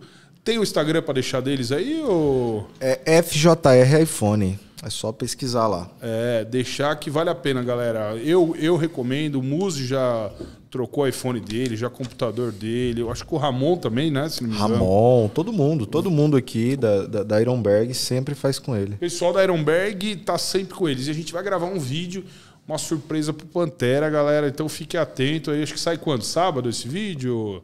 É, eu acredito que sim, eu acredito é, que no sábado. É uma surpresinha aí, o sábado ou segunda-feira, né? Então, o Jorlan Jorlan tá voltando com o quadro dele, né? Com o Jorlan Responde, que a galera tá pedindo bastante. Vai ter quadros novos no, na programação aqui no canal da Ironberg. E tem que pedir para vocês para deixar uh, para vocês se inscreverem no canal, porque nós somos o, o, o único canal do, do, do, fitness, da musculação, que tem mais. A gente tem mais visualização do que inscritos, galera. Então é importante vocês se inscreverem, deixar o like, curtir e deixar aqui as mensagens, o que, que vocês querem ver no canal, as perguntas para os nossos convidados. Tem, vai ter superchat hoje, Lucas? Tá liberado aí, o pessoal. Quiser é. fazer pergunta aqui pro Breno, pro Betão, aproveita a oportunidade aí e manda pergunta. É, pro Breno, galera. Para mim não, que eu, eu, sou só o zelador aqui da, dessa academia aqui. E vamos lá, vamos, vamos seguir para mais um bloco aí. Ô, Tenente, já tem, já tem superchat ou ainda não, ô, Lucas? Pra gente criar. Ainda não, ainda não. Ó, manda que eu, hoje, se tiver superchat aí, já eu vou quebrar um pouco o protocolo aqui e vou ler antes. Vou ler antes porque assim, a gente sempre deixa pro final. Mas se tiver aqui, a gente já começa perguntas pro Breno aí. Ô Breno, vamos falar um pouco agora, é, entrar assim da, da área que você. Da parte que finalizou assim do, do exército, quando você estava no exército lá, lá no Mato Grosso. Mato Grosso do Sul, Mato, Grosso, Mato Grosso do Sul. Quando você é, resolveu vir para São Paulo, porque você foi de Minas, Mato Grosso do Sul. Isso. Daí qual que foi a ideia sua? Por que, que você veio para São Paulo? Conta um pouco para gente. Daí da gente já pegar e já entrar na, nessa parte do fisiculturismo na sua vida. Mas primeiro vamos falar um pouquinho dessa sua transição. Pode ser? Top, ou... claro. É, então, aí eu servi né, no, no, quartel no Mato Grosso do Sul, né? Tive a oportunidade de, Só um pouquinho mais de conhecer lá o, o, estado maravilhoso, cidade morena, Campo Grande, gosto muito de lá. E aí, Betão, é, eu sempre fui um cara muito fuçado, então eu quis abrir um negócio, eu consegui... Quando a gente está no exército, quando eu entrei no exército, que eu me tornei oficial, eu tinha uma rendinha boa, só que eu morava fora, eu tinha que pagar aluguel, faculdade, os custos, eu ajudava em casa e ainda tinha uma, uma economia financeira que me restava um pouco que eu ia juntando todo mês. Então eu era um, eu sempre fui um cara muito organizado e pé no chão com esse lado financeiro. Aí eu abri um negócio em São Paulo. Mas em 2018, morando lá? Morando em Campo Grande. Eu e mais um sócio, é, a gente abriu um negócio aqui em São Paulo. Eu vendi meu carro na época para abrir. Porque eu falei, eu, cara, eu sempre fui muito sonhador e eu falei, eu vou investir nesse negócio, vai dar certo e tal. Vendi meu carro, fiquei sem carro desde 2018, né? Aí abri um negocinho aqui, no começo deu certo e tal, depois não deu muito certo. Aí a gente vendeu o negócio porque eu estava tentando uma transferência e não estava dando certo. E eu queria vir para São Paulo cuidar do meu negócio e estar tá próximo da minha noiva, que ela mora aqui em São Paulo. Então, Mas você já. Uh, isso em 2018? Isso. Aí eu peguei e, E depois que eu vim para São Paulo, né, que eu, eu fui para a reserva do Exército, eu saí do Exército para vir para São Paulo, tentar a vida aqui. Ah, então você veio por dois motivos. Você tinha um negócio aqui que você tinha montado com sócio. Isso. E, e você já conhecia, você já namorava, Já namorava. é, com a minha noiva com a hoje. sua noiva. Isso. Então, paixão. Você conheceu ela lá ou aqui? Conheci ela aqui. Aqui, com- quando você vinha para ver o É. Quando seu eu vinha para ver o negócio, negócio e tal. tá. E aí eu era o meu sonho, né, essa transferência, e tal. acabou que não deu certo na época. E aí o negócio também não começou a dar muito certo. Aí eu acabei vendendo esse negócio que eu tinha e vim para São Paulo. Tá, mas vamos lá. Então, beleza. Esse pedaço. Quando começou as redes sociais, você ainda estava no exército. Ah, sim, redes sociais? É, porque, Pô, porque assim, vamos voltar um pouquinho, porque assim, todo mundo acha, pô, o tenente, ele veio, ele como atleta estourou, mas Não. você já fazia um sucesso nas redes Eu já sociais. tinha, um- eu, eu- quando eu entrei no projeto, eu já tinha um milhão de seguidores. Ah, não sabia isso. Quando você entrou no, no- no- no- do- No projeto da Growth, eu já tinha um milhão de seguidores. Você já tinha um milhão de seguidores? Pô, eu pensei que. Eu, eu sei que você já tinha rede social antes, que a gente já conversou, mas não sabia que era tudo isso. É, pô. E, mas qual que era o trabalho que você Só fazia? que era, era totalmente diferente. Teve uma troca. Hoje eu tenho 1.3, quase 1.4, mas foi uma troca de tipo absurda. Eu acho que eu perdi uns 400 mil e entrou o dobro, entendeu? Ah, É. você teve um pessoal que saiu. Lógico, muita gente que saiu. Porque era, um, era o- é o que eu falei, né? O meu Instagram, eu trabalho ele desde 2015. Em 2015 eu era o, o militar mais seguido do Brasil. Que legal. É. E- Só que mas, era aquilo mas, assim. mas o que, que você postava de Nada, diferente de hoje? Nada, lifestyle. Era Mas uma foto minha fardado, uma foto minha na praia e tal. Então, aí eu saí em algumas páginas dessas de.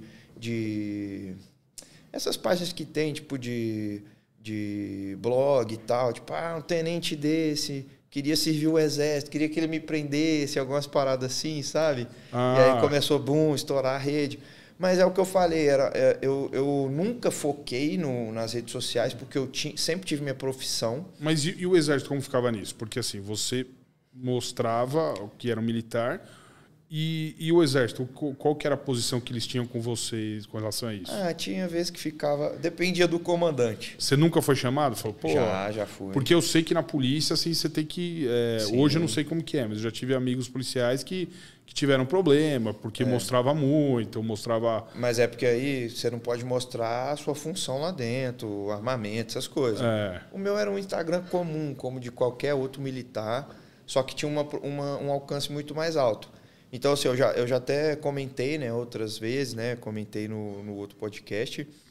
Eu já fui até chamado, né, uma vez por um general e ele falou, Breno, é, Freire, né, meu nome de guerra, é, pô, cara, esse Instagram e tal, tem gente ligando aqui, pessoal de, de jornal lá de Campo Grande ligando pro quartel querendo fazer entrevista comigo e tal. E era uma coisa muito nova para eles, porque na época não tinha esse boom de Não rede o boom, social de todo mundo, era poucos o, perfis que o eram exército grandes. tem Instagram? O Tem. exército. Hoje o exército tem Instagram, tem Twitter, então já mudou muito a mentalidade. Na minha época, hoje, pô, militar pode postar um monte de vídeo, fazer um monte de coisa. Na minha época nem podia, tinha ainda esse esse medo, essa transi... eu vivia a transição, né? Que eles, mas aí teve um general que ele falou em uma reunião assim, ele falou pro outro general, né? Ele era chefe de Estado Maior, ele falou pro general comandante militar de área. Tá, tá mostrando ali as fotos? Ou, ou coisa? Sim, sim, o pessoal tá acompanhando aqui as É, fotos. essa, essa foto aqui. É, Essa é de modelo ou é de do exército, tenente? Ó, ali, tem, ali tem dois caveira brabo. Diego da Polícia Civil, Giovanni da Polícia Militar e eu, né? Selva. ali a gente fazendo um, um- numa época de tiro. Aí, Aí- era foto normal, minha sorrindo lá. Pô, não tinha aí, nada. aí eu não vi. Quantos entendeu? anos você tinha aí, ô, Breno? Olha lá, é- isso aí é de quando? 121 semanas, faz a É, não tem muito tempo não, eu já era primeiro tenente, ó. Isso aí tem uns três anos. Então era foto normal. Eu pensei que você mostrava o dia a dia. Não, aí ó, na, na pandemia eu ainda servia. Caramba. Então, uma foto normal. Só que tinha um alcance muito alto.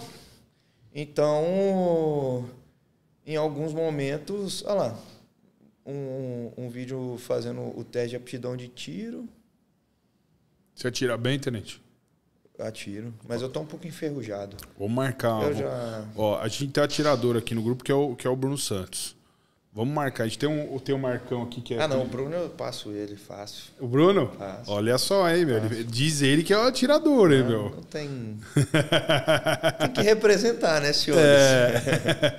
vamos marcar, vamos marcar com a galera. A gente, a gente tem o Marcão aqui, que é o policial civil, parceiro da Ironberg aqui, que ele tem o stand de tiro. Vamos marcar a gente fazer um vídeo lá Vamos. no stand dele. Chamar o Bruno, a gente pegar e, e, e fazer um conteúdo lá. Sim, top demais. E, dentro. atirar com, com os calibres aí. O Bruno fala que ele é um puta atirador. Vamos ver, né? É. Vamos ver. Vamos Ele- ver. tá, tem, tem mais foto lá, ô, ô, Lucas, no, no Instagram? E, Tem, e- vou preparando. e- e isso Aí, Betão. começou em 2015. Isso, em 2015. Então, teve uma época que minha rede social tinha uma proporção muito grande, era muita gente e tal. Só que era aquilo, era um público totalmente diferente, né? Era era um público voltado para esse lado. Tinha muita gente que se inspirava pelo lado do exército e tinha muita gente que seguia porque ah, era bonitão, sei lá o quê. Então, é o que eu falei, é muito diferente de hoje em dia. Hoje em dia a gente tem uma comunidade, né? Eu chamo o pessoal Selva, salve pelotão Selva, é a rapaziada que acompanha, que acompanha o nosso propósito de buscar esse Procard, né? Que a gente posta todos os dias a nossa motivação, os, os nossos treinos. Então a pessoa é um pessoal mais engajado, um pessoal que eu já não tinha mais graça de postar, Betão, né? Principalmente depois que eu comecei a namorar e tal, eu dei uma abandonada de rede social. É, porque você coloca o Instagram ali, É, meu, pô. não era muito a É. minha cara mais. Só que hoje, pô, é muito diferente, cara. Eu tenho um propósito hoje, Mas, entendeu? mas eu vou te falar uma coisa. Você falou isso. Eu, eu na época que, que eu fui personal trainer, no começo da minha carreira, eu cheguei a ter uns alunos famosos. Uhum. Trabalhavam na Rede Globo, tanto homem quanto mulher. E eles falavam exatamente isso. Porque, assim, muitos namoravam, assim, tinham um relacionamento sério, mas eles não mostravam para as pessoas, porque você perde um pouco o brilho, assim, da, da- as pessoas que são fãs, assim, pô, que tem aquele amor platônico, assim, então eles não, eles não divulgavam, assim, mas falou, pô, mas você tem, você tem um companheiro ou, ou um namorado ou namorada, né, no caso, né, porque eu já dei, já dei aula tanto para homens quanto para mulheres, e, e eles falavam exatamente isso, cara, porque é, eles não podem. E assim, dá mais para atores, né? Que você tem um papel na, na época, acho que era bem forte novela, né? E interpretava cada, cada novela, cada papel era um, um, um, um caso romântico com outro ator, né? Com outra atriz, né? E eles falavam isso, cara. Falavam, Pô, a gente, infelizmente, não pode. E você, por, por ser uma figura pública, mesmo no Instagram, que não era de televisão, mas tem esse problema Só também. que eu postava, Betão, porque eu não ligava, entendeu? É. Eu nunca monetizei meu Instagram até virar atleta. Caramba, você tinha um milhão de, de seguidores e não Nada, monetizava, nada. fazia nada. Nada. Primeiro que eu não gostava de ficar fazendo parceria de permuta. Segundo que, Betão, tipo assim, um em respeito a todos, pessoal, não entendam isso, isso mal, entendeu? Mas é um público diferente. Sim. né? Hoje, hoje, antigamente eu postava uma foto com minha namorada, eu perdia seguidor. Hoje eu posto, a rapaziada apoia, porque sabe que me faz bem, sabe que é uma coisa boa. É porque era diferente, o público seguia porque ah, era galã, bonitão. Hoje não. Hoje a gente tem um propósito de motivar, inspirar pessoas. Então isso é muito importante e é isso. O, o meu Instagram se resume nisso. Hoje a gente tem uma comunidade de pessoas que se motivam, se inspiram, que eles me inspiram, me apoiam e eu troco essa verdade com eles. E, o- e- esse boom que deu, deu no seu Instagram, deu do 2015, foi crescendo ou foi com uma foto que você colocou? Porque hoje em dia tem isso, né? A internet é muito louca. É. Você faz uma foto, essa foto bomba, ela viraliza, daí explode. Foi assim, deu aquele boom É. Não. e foi, foi, Foi crescendo. uma construção. Foi, Foi uma construção. Foi uma construção. Tá. 2015, aí 2016, 17, 18. Aí teve uma época que começou a cair um pouquinho, porque eu, eu, como eu falei, eu não postava mais, eu não tinha muito ânimo e tal. E você, já, e você já tinha saído do exército? Não, eu estava no exército ainda. Aí, aí depois que eu saí, eu praticamente nem postava mais. Postava uma foto por mês e tal, já não tinha muito gosto por aquilo. Então eu falava assim, cara, não, não gosto muito disso, porque sabe, faltava o propósito que hoje a gente tem. Tá, mas daí agora conta pra gente. Então, beleza, você contou do seu Instagram, como que foi, né? Porque eu tinha essa dúvida também, muitas pessoas tinham. Daí agora como surgiu o fisiculturismo para você? Foi, você teve o projeto da Growth, né? Que, que, que você fez, né? Que você fez parte de dois, né? Dois projetos. Mas antes disso, você já teve interesse pelo fisiculturismo? Claro. Conta pra gente como Assim, que foi. é, Você já estava em São Paulo. Lá, quando você estava no exército, você nunca tinha pensado em competir. Não, não. Isso aí eu vou ser bem sincero. Não tinha porque. Vão falar que é desculpa, mas não é. Não tinha tempo. E eu nunca tinha me focado 100% nisso. Então. Como que foi? Quando eu comecei, eu era muito dedicado. Depois eu tive uma época que eu não era tão dedicado, mas sempre treinando pesado e comendo limpo. Eu nunca fui de, de comer porqueira e tal. Mas eu nunca tive uma instrução, um coach, um nutricionista para me orientar. Eu não sabia isso, era eu por eu, entendeu? E aí, quando eu entrei no projeto, que eu falei, agora eu quero competir, isso foi no, no ano passado, é, no começo do ano, eu comecei um projeto que eu já pensava em competir, né? E aí foi quando eu ia treinar no CT da Growth, e eu já tava com um shapezinho legalzinho e tal. Pô, mas, tipo, nem, não tem nem comparação, né? Foi uma evolução muito grande. Mas eu já tinha um shapezinho legal e o pessoal via que eu era dedicado. Eu já tava na Growth, é, mas só de parceiro, entendeu? Eles, eles deixavam eu treinar lá e mandavam alguns suplementos para mim para eu postar. Mas eu não tinha patrocínio nem nada. E aí eu peguei e nesses treinos que eu tava indo fazer lá de vez em quando, é, o, o pessoal me viu e falou, cara, tem um projeto rolando, né, entre o Tadalho e o Cavalo, a gente está precisando de um, um pouco mais de seriedade nesse projeto e tal, você quer participar? Eu falei, agora. E aí foi quando eu agarrei a oportunidade e competi pela primeira vez. Eu já queria, Você já queria. já queria, eu já queria entrar para esse mundo porque eu sempre gostei, eu sempre fui apaixonado por isso. Então, a musculação ela é- é- foi a única coisa da minha vida que eu nunca deixei de fazer sequer um dia. O máximo que eu fiquei parado durante esses 12, quase 13 anos de treino foi quando eu tive uma lesãozinha na coluna e ou quando fechou a academia do, do- da primeira pandemia e tal. Mas foi a única coisa constante da minha vida 100% foi os treinos assim, né? É, que eu mantive que eu não conseguia ficar sem. Então, quando eu entrei pro, pro fisiculturismo, eu tomei um pouco de um baque, né? Porque eu falei, caramba, é diferente. A vida de atleta é diferente. Comer no horário certo, não poder errar nada, porque o físico responde muito. Só que eu já tinha de bagagem todos os meus anos de treino, a minha disciplina de antes do exército e reforçada pelo exército.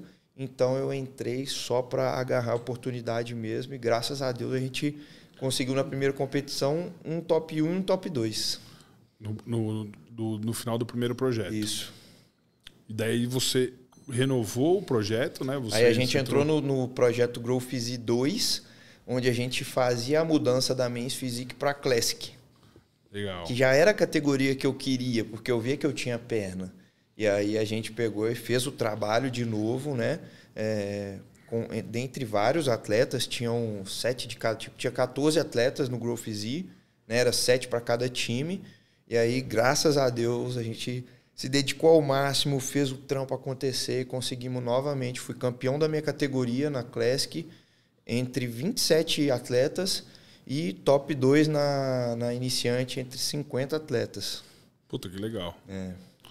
Pô, foi muito legal, foi muito muito importante para sua carreira esse projeto, né? Essa Sensacional, pô, gratidão imensa por- por- pela oportunidade, né? Léo Stronda, né? Léo, pô, o Léo- Léo tá à frente aí, pô, tá O Léo foi um dos caras que me inspirou a começar na academia, lá atrás. porque eu cantava estronda. Você? Cantava estronda. Eu tinha uma bandinha de estronda em BH e eu e o João. E aí o Léo já era, pô, inspiração, porque o bonde da estronda era quem comandava, né? Ô, Tenente, o que, que é cantar estronda? Estronda é, um, rap, estilo? É um estilo musical que tinha na época que, na minha época pelo menos, né, do meu grupo de convívio e tal, existiam três tipos de pessoas: pessoas normais, os emos e os estronda. Então eu era estronda.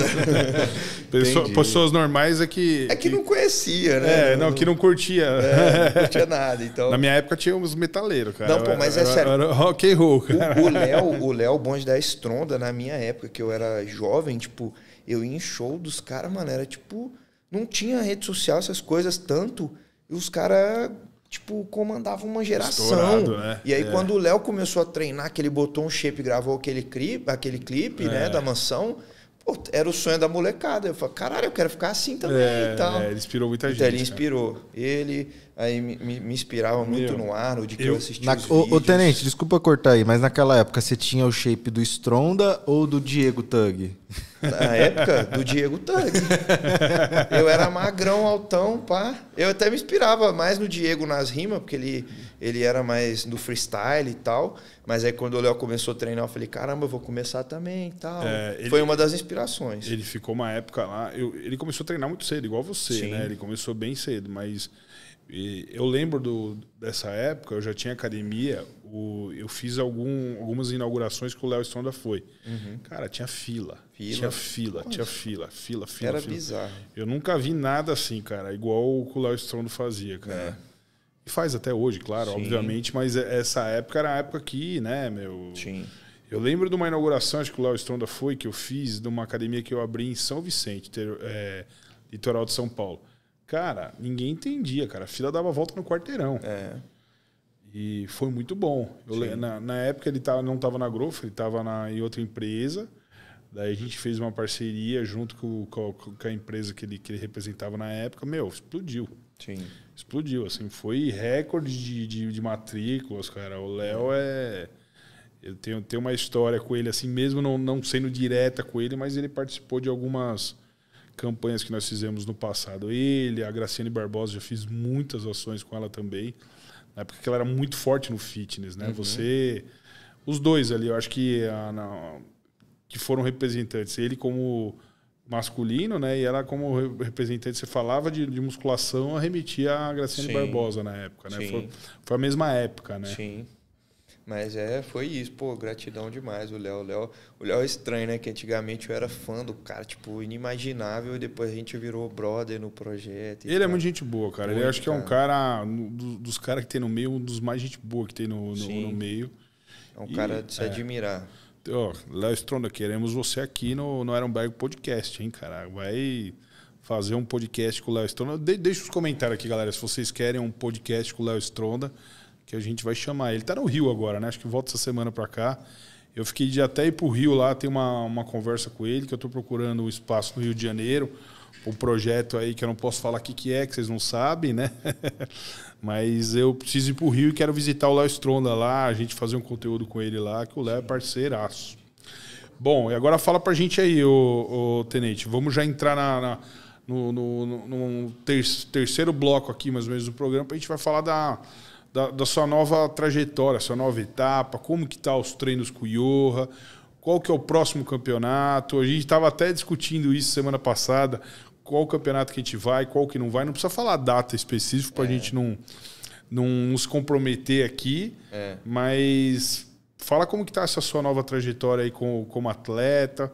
Mudou muita coisa, muitos patrocínios chegando, né, cara? Eu acho que a vida tá virou de ponta cabeça, né, do- dos últimos dias. Conta pro pessoal como que tá, com- como que tá a sua, sua projeção aí pro, pro futuro. Em primeiro lugar, né, Betão, te agradecer. Pô, fico muito feliz de estar aqui na família Aronberg, né? Um- um- Cara, é surreal. Hoje eu estou vivendo um sonho. Um sonho que eu contei que eu tinha lá atrás, que eu imaginei que eu nunca teria. Tipo, na minha cabeça nunca passava que eu poderia ser um atleta de alto rendimento e viver disso e tal. E hoje eu estou vivendo isso. Então, é a realização de um sonho de verdade. Porque eu sempre fui apegado a esse lado de, de mim mesmo. Tipo, eu dependo de mim mesmo. Alto rendimento, entendeu? E o fisiculturismo é isso. É a gente fazer o trabalho todos os dias sem errar e tudo mais. E a oportunidade que você me deu, né? Depois que eu entrei na Ironberg, muita coisa boa aconteceu, né? É, pô, indescritível a sensação de treinar todos os dias com o mestre Johan, o treinador. Eu nunca tinha treinado com um treinador. Então, o direcionamento, a evolução que a gente vê é notória a cada dia. Né? A gente tá com, a gente fez um trabalho sensacional. Sou muito grato ao Tenente Eusébio por tudo que ele fez por mim, né? Por toda a construção que a gente teve junto. E hoje a gente está com o Stefan, que é, não, não, tem, não é comparando trabalhos, mas o Stefan é um coach que está treinando três atletas que está no top 10 do Olímpia da minha categoria. É. Então, é um cara experiente para o nível que eu quero chegar, né? que eu vou trabalhar duro para poder chegar lá. Meu comprometimento, isso aí vocês podem ter certeza, tropa, não vai faltar. Né? Eu sei me posicionar, eu sou um cara. É, tem gente que é sonhador, tem gente que é maluco, tem gente que tira muito o pé do chão. Eu sei me posicionar, eu sei que minha caminhada está no início. Mas eu também sei que não vai faltar trabalho duro, comprometimento, disciplina da minha parte. Graças a Deus, depois que eu entrei para Aronberg, né, muitas portas se, se abriram, né? Muitas empresas acreditaram no, no nosso projeto, né? Estão dando oportunidade. Inclusive, essa, essa semana aí, senhores, tem novidade para vocês. Duas empresas aí que entraram, né? Que o Betão é, articulou para poder chegar junto também no nosso projeto. E é isso, Betão, é um, um sonho mesmo estar tá podendo treinar aqui todos os dias no CT. Né? Ano passado, os dois campeonatos que eu disputei, eu, eu disputei treinando em Smart Fit, porque eu tinha um carro só, eu e minha esposa, é, eu e minha noiva, né? A gente dividiu o carro dela e até uma coisa interessante, né? Tipo, um, um breve retorno. Quando eu vim para São Paulo, que eu vim tentar aqui, que eu vendi o meu negócio e tal, peguei um dinheiro, falei, cara, não vou comprar carro, vou recapitalizar esse dinheiro porque eu sou um cara muito pé no chão, eu nunca gostei de ficar sem nada, sem nenhuma reserva. Aí eu fiz um investimento e perdi meu dinheiro todo, Betão, quando vim para São Paulo. Você tá brincando, sério? Sério. Perdi um amigo meu que fazia umas operações na bolsa e tal. Ele foi para fazer uma operação, colocou um zero a mais, perdeu meu dinheiro. Serviu comigo no exército, inclusive, e tal. Sumiu, tá para a Europa lá, nem sei onde está mas perdeu meu dinheiro, perdeu dele, perdeu da mãe dele, então eu fiquei sem chão. Caramba. Eu morava aqui em São Paulo num, num flatzinho, aí minha noiva falou, cara, vem pra cá, né? Fica aqui em casa, meu apartamento é meu, então até você se restabelecer e tal. E aí eu dividi o carro com ela, eu ia trampar, ia fazer o meu trabalho, eu trabalhava fixo, né? Todos os dias eu ia tra trabalhar, muitas vezes de Uber, é, aplicativo e tal. Até falei isso no meu vídeo. E eu não tre... eu treinava em Smart porque era do lado de casa, né? Eu saía do trabalho e ia treinar. Hoje eu estou podendo vir treinar aqui todos os dias e graças ao carro que eu comprei e eu não poderia deixar de te agradecer, porque também você faz parte disso. Se não fosse você, né, para ter alavancado os meus patrocínios, as coisas, eu não estaria como eu estou hoje, podendo viver o que eu vivo hoje, né? E estou 100% focado, Betão, dedicado tô pô, amando o processo, né? Vivendo e, tudo. E é só o começo, né, Tenente? Quando, quando a gente sentou, desde o ano passado, quando a gente começou a conversar, né? Primeira vez que você veio aqui, teve até aquele batismo com o Jorlan, que a gente fez acho que em outubro, se não me engano, que a gente começou a ter o contato. Foi até é, a Arme, né, que fez, que fez essa, essa ligação com a gente, ó, a Arme patrocinadora é, da, do, do, tenente, parceiros nossos, né? Os donos da, da Army falaram muito, muito bem de você, que a gente começou a conversar. Daí depois eu acabei fazendo aquelas viagens malucas com o Jorlan, fui para Dubai, para Áustria, Estados Unidos, tal. E quando a gente retornou, né, que que daí a gente sentou para pôr no papel mesmo, falou, ó, qual que é o objetivo? Aonde você quer chegar, né? Sim. E, e as coisas estão acontecendo, né? Eu acho muito. que tá tão dentro do que a gente conversou lá atrás estão acontecendo, né? Com certeza. E eu acho que tem muito mais ainda para acontecer, né? Amém. Porque é, tá muito ainda no começo, né? Todos os atletas que trabalharam comigo, que a gente fez essa projeção de carreira, porque na verdade, fala, pô, não, eu, eu, eu, eu na verdade não decido nada, eu só trago as oportunidades, né? Sim. É, é como um coach, um, co um coach, não um coach de treino, um, um coach é, financeiro, um coach de, de vida, ele só canaliza o que você quer. Fala, pô, eu quero. Você quer comprar um carro, você comprou um carro agora. Então pode ser um objetivo de, de, um, de um atleta. Eu quero comprar uma casa, legal. O Ramon comprou uma casa, eu ajudei a fazer parte disso. Uhum. Mas como que você vai comprar uma casa? Então a gente coloca, peraí, vamos organizar. O que, que você tem que fazer? Ó, preciso fazer isso, fazer aquilo e organize para a gente chegar. que é o que eu faço com a carreira do, dos atletas aqui. Sim. Entendeu? Eu só, eu só ajudo a canalizar as informações que cada um, o objetivo que cada um quer chegar. E no seu, puta, é, eu acho que o Jorlan também a gente passou por isso. Hoje o Jorlan ele conseguiu atingir algumas coisas na, que ele não atingiu a vida inteira, que eu É. ajudei a fazer parte de, de alguma forma, né? E eu vejo isso com você, com o Pantera, né? O Pantera é o mais novo atleta nosso aí. Cara, a gente viu da, da onde o Pantera chegou e aonde ele tá chegando, como ele chegou aqui Sim. que com grandes dificuldades, né, que a gente conseguiu sanar as dificuldades que ele tinha, tanto financeiras como pessoais também que ele tinha. Hoje está morando aqui do lado do CT. Já a gente já multiplicou a renda dele em quase seis vezes. Você fala, galera, ele não está milionário, mas assim ele já pode viver hoje do esporte, né? Ele pode se dedicar 100% para o esporte para ele ter um resultado. É diferente do seu, né? Você já tinha uma condição boa, você tinha emprego, você já tinha patrocínio, já tinha a Growth, a Army como patrocinadoras. E a gente só melhorou, né? Só Sim. trouxe novos e reorganizou a sua vida para você chegar. Ainda falta muita coisa para acontecer, né? Com certeza. É Mas- uma aposta alta que você fez e eu agarrei com unhas e dentes, tenho certeza. Não vai faltar comprometimento nunca da minha parte. Estou vivendo um sonho né, de poder estar aqui treinando com Iorra todos os dias, num centro de treinamento. Né?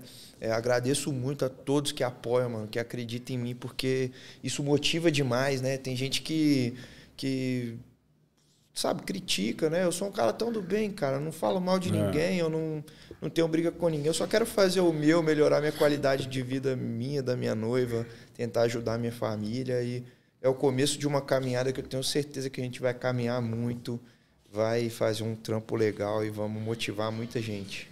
É, eu vejo pelas empresas, assim, como, como eu já eu já ajudei em contratos de, de todos os atletas, sempre quando eu vou conversar com, com uma empresa, ou Breno, não é porque você está aqui, não.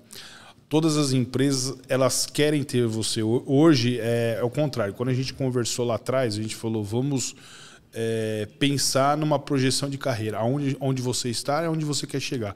Tanto profissional quanto financeira. Sim. Hoje eu vejo o contrário, Breno. Hoje eu vejo as empresas conhecendo mais você.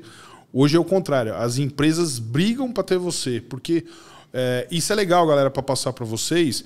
Que tem muita gente que pede uma oportunidade, que quer, pô, eu preciso de um patrocínio, eu preciso de uma oportunidade. É o que, é o que mais eu escuto. Antes de eu, de eu receber um boa tarde, um, um bom dia, uma boa noite, as pessoas, Betão, me dá uma oportunidade. Mas é legal para vocês entenderem o que, que o Breno faz hoje, que as empresas vêm atrás. É, é um contexto geral. O Breno entrega, é, ele não é só o atleta, ele entrega para os patrocinadores, né, tanto no, no- no formato do YouTube quanto no Instagram, nas redes sociais do Breno. Ele tem uma imagem que as empresas querem. Não é uma imagem, pessoal, que eu falo para vocês, só a imagem do, do, do um cara boa pinta. Não, não é isso, galera. Não é isso. Isso, isso é legal, lógico que é bacana. Tem empresas que, que buscam isso.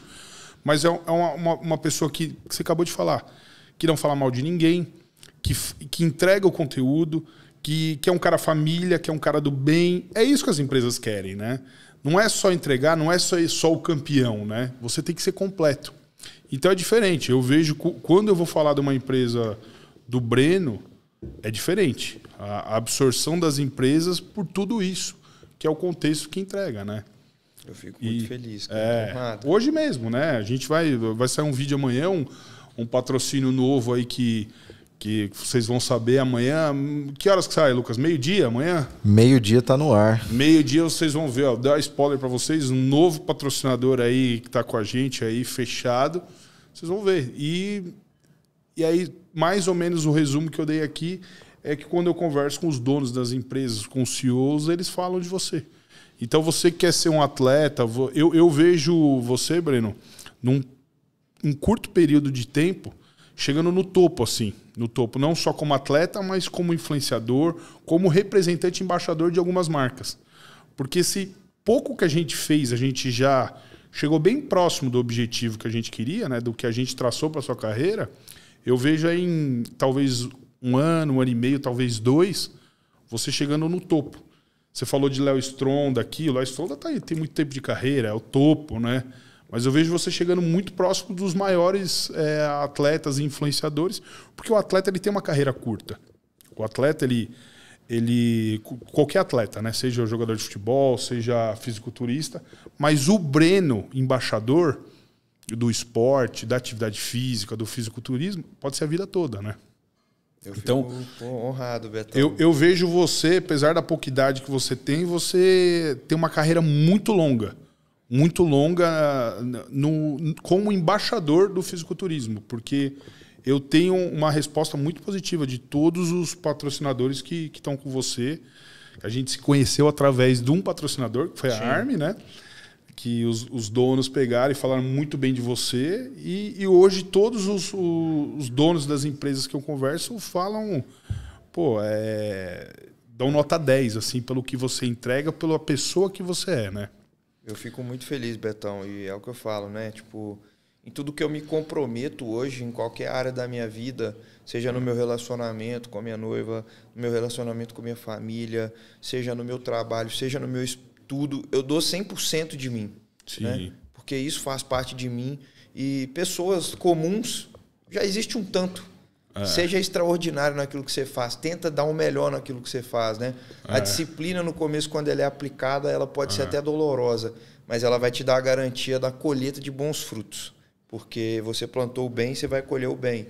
E a mensagem que a gente tem é só essa, é, é. de motivar o pessoal e ir para cima. É, eu tô achando que o Lucas deixou a gente na mão hoje. Não teve japa, ô Lucas? Não, é, não teve japa, mas vai vir uma surpresa aí que pro tenente não vai ser muito legal, mas é boa pra gente que gosta. Do... eu tô tentando estar na dieta, cara. O é... que, que, você aprontou, Lucas? O que, que você aprontou, meu? É a despedida da dieta do Betão, entendeu? Ah, vixe, que que Depois é? Depois você fala cê, pro, pro. Você só fala se é pizza, se é hambúrguer, o que que é? É hambúrguer. Meu Deus do céu. Você vê, ó, Tenente, você vê que eu tô tentando. Heitor Galvão, cara, meu coach. Cuida da minha dieta. Ô, Tenente, fala pra galera aí agora aí quais são os próximos, quais são os próximos passos. Já tem uma, uma competição, porque assim, na, você vai migrar para NPC, né? Isso. É, agora vai ter a sua estreia. Para migrar, eu acho que você precisa ter um campeonato. É, aqui primeiro, né? Porque como o seu coach é austríaco, ele queria muito que você fosse competir e ele te assistir, né? Isso. É, eu, o projeto é o seguinte, Betão, a gente, desde a primeira conversa que a gente teve com o Stefan, ele viu as minhas fotos, a minha atualização, né? Por vídeo, pelas últimas fotos da competição e tudo mais. E ele falou que queria testar o meu shape antes de fazer qualquer off, né? É. Porque é. muita gente fala, não, o tenente precisa de mais volume e tal. Realmente, preciso é. de mais volume. Mas primeiro o Stefan tem que ver como que a gente vai fazer isso, né? A linha do Classic é muito importante. Ele trabalha com uma metodologia muito legal, porque não é só fazer um off, adicionar volume e tal, senão você pode estragar a linha de um atleta. Sim. Então ele quer melhorar onde precisa e ele quer testar o meu shape em finalização. Então a gente tem já planos de competir no meio do ano, né? Meio do ano, aqui meio no Brasil. Ano, aqui no Brasil. É, a gente tá, tá olhando, ver, tá olhando né? um local ainda, é. não sabe qual competição, mas mais ou menos pra galera ter ideia, meio do ano você Isso. deve subir. Vou subir. Vou entrar daqui a pouco já em pré-contest e a gente vai estar tá pronto. E quem sabe, né, depois de, de fazer um, um, campeonato aqui, a gente vai ver qual que a gente vai, a gente subir fora, porque o Stefan quer testar o meu shape, então. É ele fez um convite para a gente para a Europa tentar um, um campeonato lá. Vamos ver, né, como que vai ser o andar da carruagem, como que o shape vai responder, mas não vai faltar trabalho duro. É, eu acho que é muito legal a gente pegar, trazer esse intercâmbio. E, tudo bem, ele quer, ele quer que você vá num campeonato fora, mas que a gente traga ele também para cá, né? Isso. Porque ele é, ele é, ele é coach seu, é coach do, do Diogo do Montenegro, Diogo. né? É que eu acho que o Diogo não vai competir esse ano aqui no Brasil, né? Não sei nem como estão os campeonatos, né? Não, não conversei com ele, está indo para o Raio agora, né? Tá fazendo uma preparação surreal aí, vai para brigar pelo título. Sim, com certeza. Eu acho que o Stefano vai para o Raio, né? Vai, vai. Ele sempre ele. acompanha, né? Sim. É, é, o Raio, o Arnold e Olímpia são os campeonatos que ele está todo ano, né? E, mas vamos ver se a gente consegue fazer isso, que ia ser fundamental, né? Daí a gente traz o Diogo para cá, passa uma temporada aqui. Sim, seria muito top. É, que... é, legal falar disso, Beto, para lembrar o pessoal que na terça-feira vai ter mesa redonda aí com as prévias e uh, os palpites sobre ah, o raio, né? É verdade, pessoal. Como eu, eu falei para vocês, agora, agora toda terça e quinta tem o Ironberg Podcast. Na quinta-feira, esse formato aqui mais podcast mesmo. E na terça, mesa redonda. Uh, onde vão participar o Jorlan, que vai apresentar o quadro junto com o Caramelo, o Dr. Caramelo, e Tinho Lima, e sempre terá um convidado para participar. E terça-feira a gente vai falar sobre o raio, todos os brasileiros que vão participar, quais são as expectativas, é, quem quem está chegando, que é os, os, brasileiros primeira vez, né? Tem alguns brasileiros, o caso do Edivan. O Edivan é a primeira vez, né, que está indo pro pro, pro Ohio. Primeira vez em Ohio. É, então a gente vai falar sobre tudo, tudo. Opa, galera, galera do céu. Ferrou. Agora ferrou. outra novidade, ô Betão. O pessoal que quiser, quiser treinar com fone de ouvido e tal, pode encontrar os episódios do Ironberg Podcast no Spotify também. Já está no... Já, já tá. Amanhã esse aqui já vai estar no Spotify, o link está na descrição. O pessoal é só acompanhar lá. Que legal, galera, que legal. O pessoal pede muito. Eu, eu, eu, eu, eu adoro, pessoal. Eu gosto muito de viajar de carro, né? Sempre quando eu, fazia as obras da, das academias, eu gosto muito quando quando é claro, né? Mais o sul, Minas, assim, Rio de Janeiro, quando é mais perto, eu adoro ir de carro e eu sempre pego e baixo o aplicativo no, no para escutar o podcast durante a viagem. Eu acho isso muito legal. Então a galera que está no trânsito agora, então já já tá rolando, já os outros episódios já estão no já, já, já tá tudo lá. O pessoal pode acompanhar, seguir lá e todos os episódios Mesa Redonda, Ironberg Cast, vai estar tá tudo lá. Isso vai ser muito legal, galera. Então, esse primeiro episódio do Mesa Redonda, terça-feira, vai ser a pauta vai ser o raio e os brasileiros que vão competir o raio, tudo, previsão, tudo, tudo com o especialista, pessoal. Jorlan e Tio Lima, é, Doutor Caramelo e um convidado. Não tem o um convidado ainda de terça? É o convidado surpresa. Convidado surpresa. Quem será que vai ser, hein, galera? Deixa aqui nos comentários.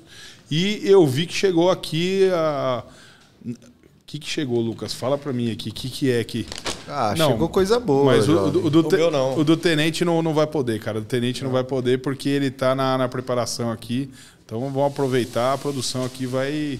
Vai, vai Aí, ó, já deram sorte. Fala o que, que é aqui, ô Lucas. Ó, oh, Betão, aqui é o Diggs Burger, aqui de São Caetano. Ó, o pessoal tem que entrar e fazer assim como eu, seguir a página deles aqui. Top. Porque, top. ó, tem muita coisa, Instagram bonito, hambúrguer bonito e gostoso. Então, é, é, aluno, é parceiro aqui da academia também. Que top.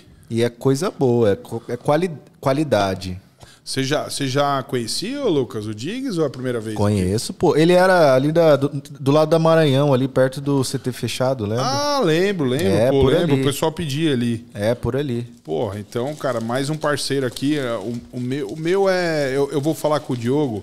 Com o Diogo não, com, vou falar com o Heitor para ver se ele libera para toda quinta-feira eu fazer a refeição livre, né, meu? Porque, caramba, esse é de qualidade, hein? Não vai ficar com vontade não, hein, Breno? Não, não.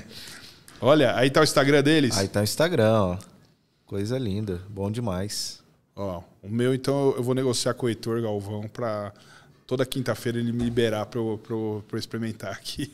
Day off, né? Day off. Vamos, vamos falar com o Stefan também se tem. Ele não, ele não dá não refeição libera. livre, né? Não tem. É, é sofrido, senhores.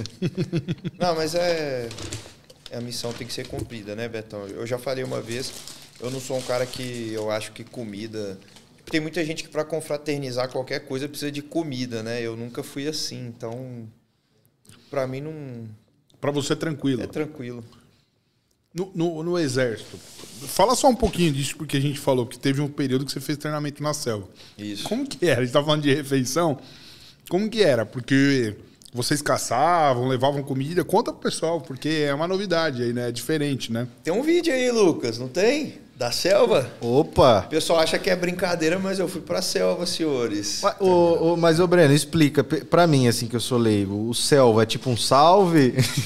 O selva é um, que, é um brado que o, o pessoal que faz o curso na selva utiliza, entendeu? Mas é só para quem faz é, é, especificamente na selva. Então na é... selva. Ah, legal. Para cada área, cada canto do Brasil tem um. Né, eu servi no Mato Grosso do Sul, lá tinha um curso de Pantanal, então era muito comum no brado, é, na hora da apresentação, bradar Pantanal! Na selva, ah, selva! Então é por isso que vem esse grito de selva. Legal, legal. Aqui, ó, vou soltar pra galera ver. É esse vídeo? É, esse aí é um, um trechinho lá da, Pode deixar o som aí nesse aí. Eu acho que pode pegar direito autoral, tem música, né? Eu acho que essa aí não tem não.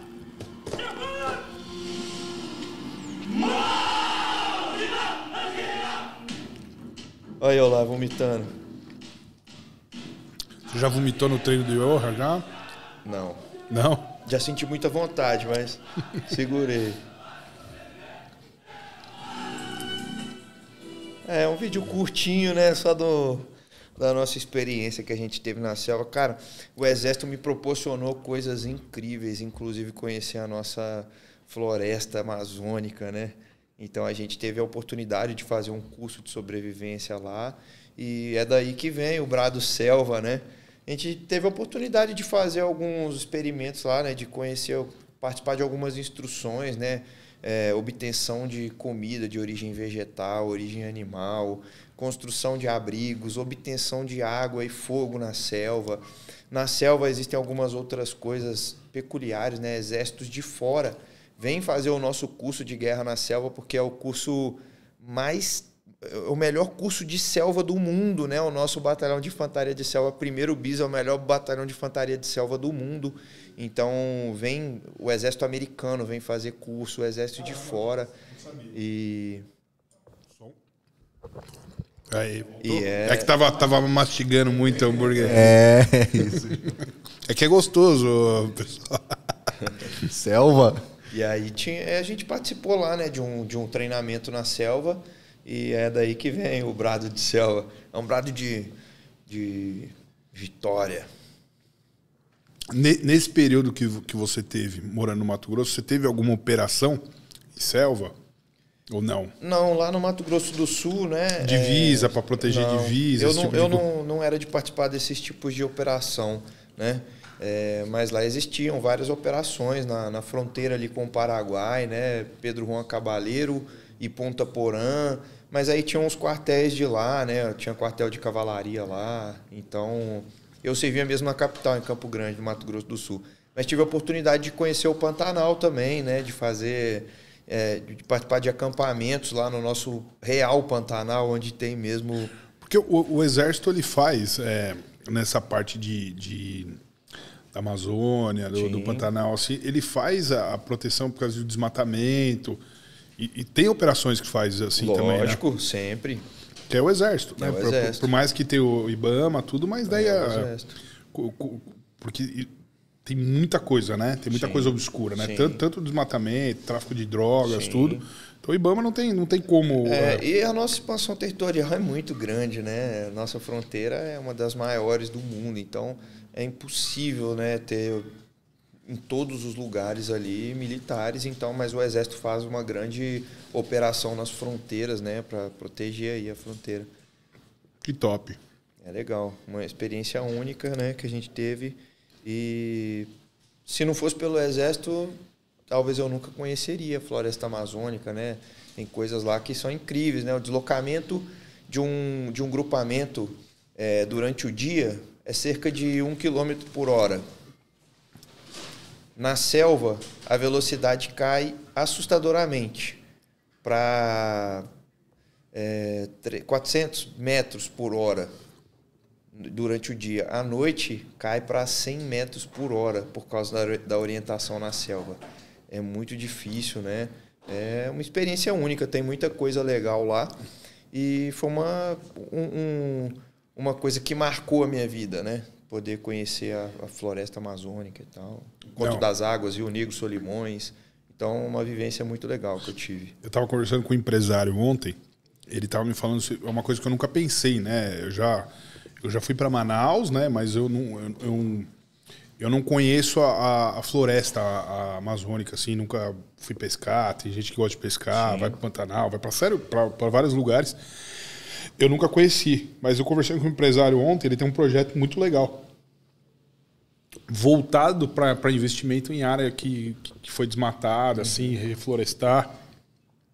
Eu achei sensacional, nunca tinha pensado nisso, mas é uma coisa que eu vou começar a pensar daqui para frente, Sim. porque a gente tem o pulmão, né, como dizem, né, a gente tem o pulmão do Brasil que é que é a Amazônia, né?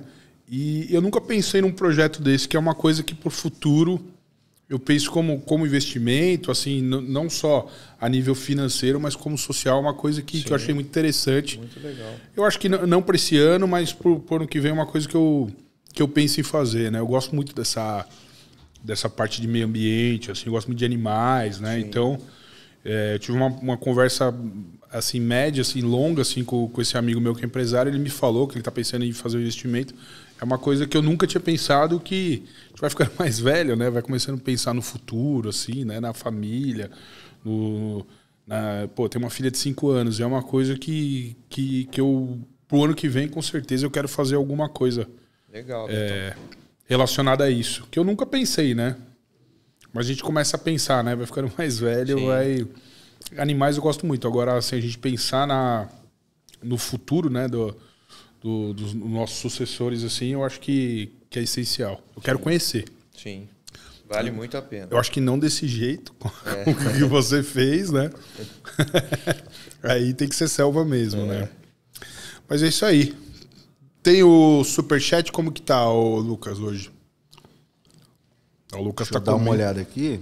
Deixa de novo o Instagram aí da galera aí que mandou, que é Diggs. Diggs Burger. Diggs Burger.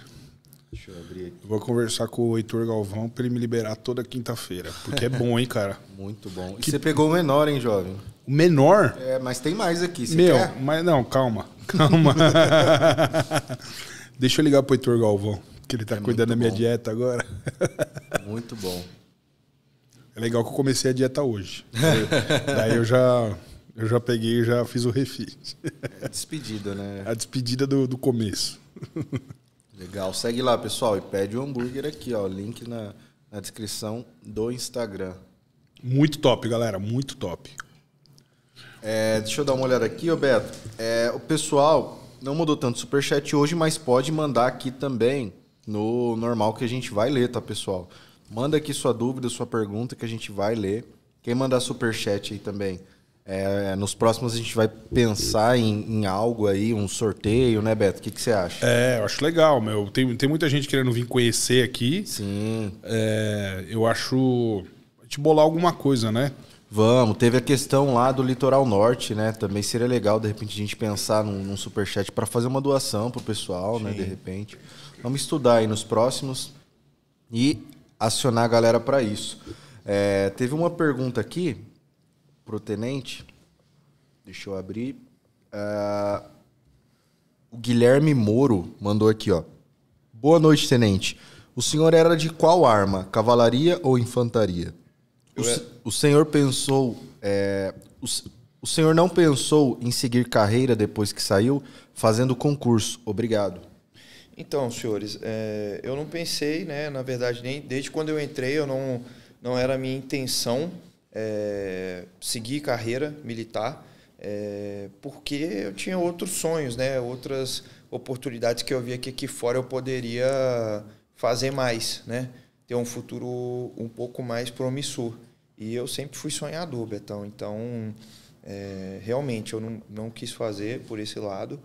E eu sempre quis ir por esse lado de empreender e tudo mais. Eu sempre tive uma educação financeira muito boa.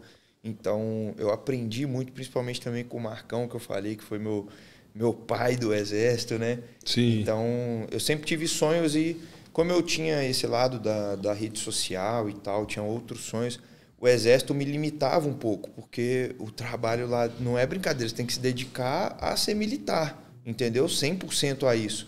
E, por exemplo, eh, eu já tinha uma pretensão de competir um dia, alguma coisa assim, eu não ia conseguir conciliar, porque não dá, é muito difícil. Dá até que dá, mas aí você ia, tipo, fica numa... Você não consegue fazer os dois bem feito. Então, eu não, não pretendi seguir carreira militar em nenhum momento, realmente. Tem mais pergunta? Tem uma aqui pro Betão, ó. O Thiago, Vixe, Thiago Freitas mandou aqui. Betão, cadê os vídeos da expansão da Ironberg? Galera, a gente vai colocar. Tem, tem mais coisa, tem muita novidade vindo aí pra. Eu vou falar uma coisa pra vocês, galera. Eu não desisti da, das novas unidades. Em breve a gente vai ter alguns lançamentos. Eu fui hoje na obra, né? Tive uma reunião, a gente já começou até a fazer umas mudanças.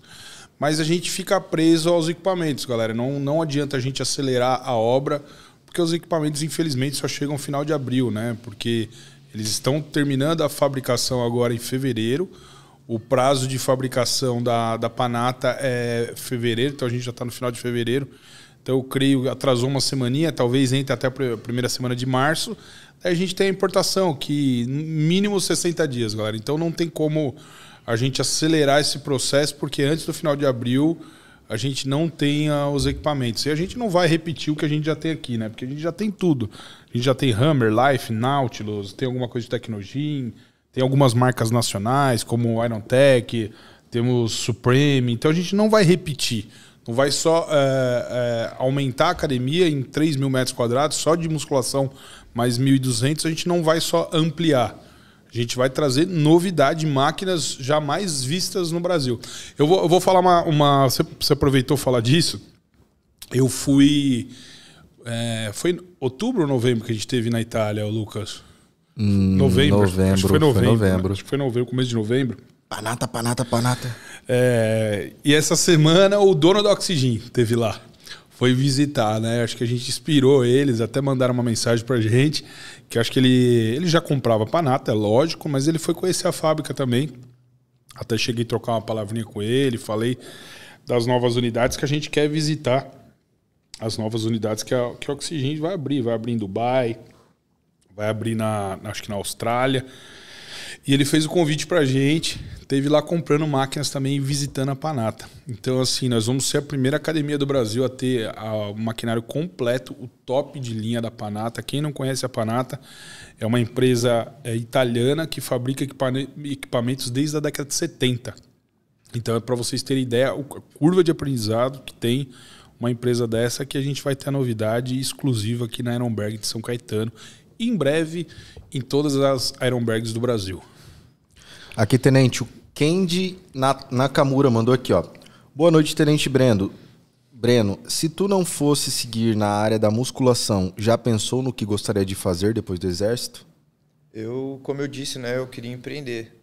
É, eu tive a oportunidade de ter um negócio em São Paulo, né, uma meio que uma balada e, e ganhei bastante experiência nessa área. Então, meu sonho era ser empreendedor. Agora, em que, não sei, eu ia fazer um estudo de situação aí, porque o mercado é bem difícil, né? Mas eu, tenho um, eu tinha um sonho de juntar o dinheiro para poder futuramente criar gado. É. Legal, diferente. É diferente. O Francisco Nunes perguntou aqui em qual batalhão do Mato Grosso você serviu. Comando Militar do Oeste. Legal. Betão, a mãe do tenente mandou aqui, ó.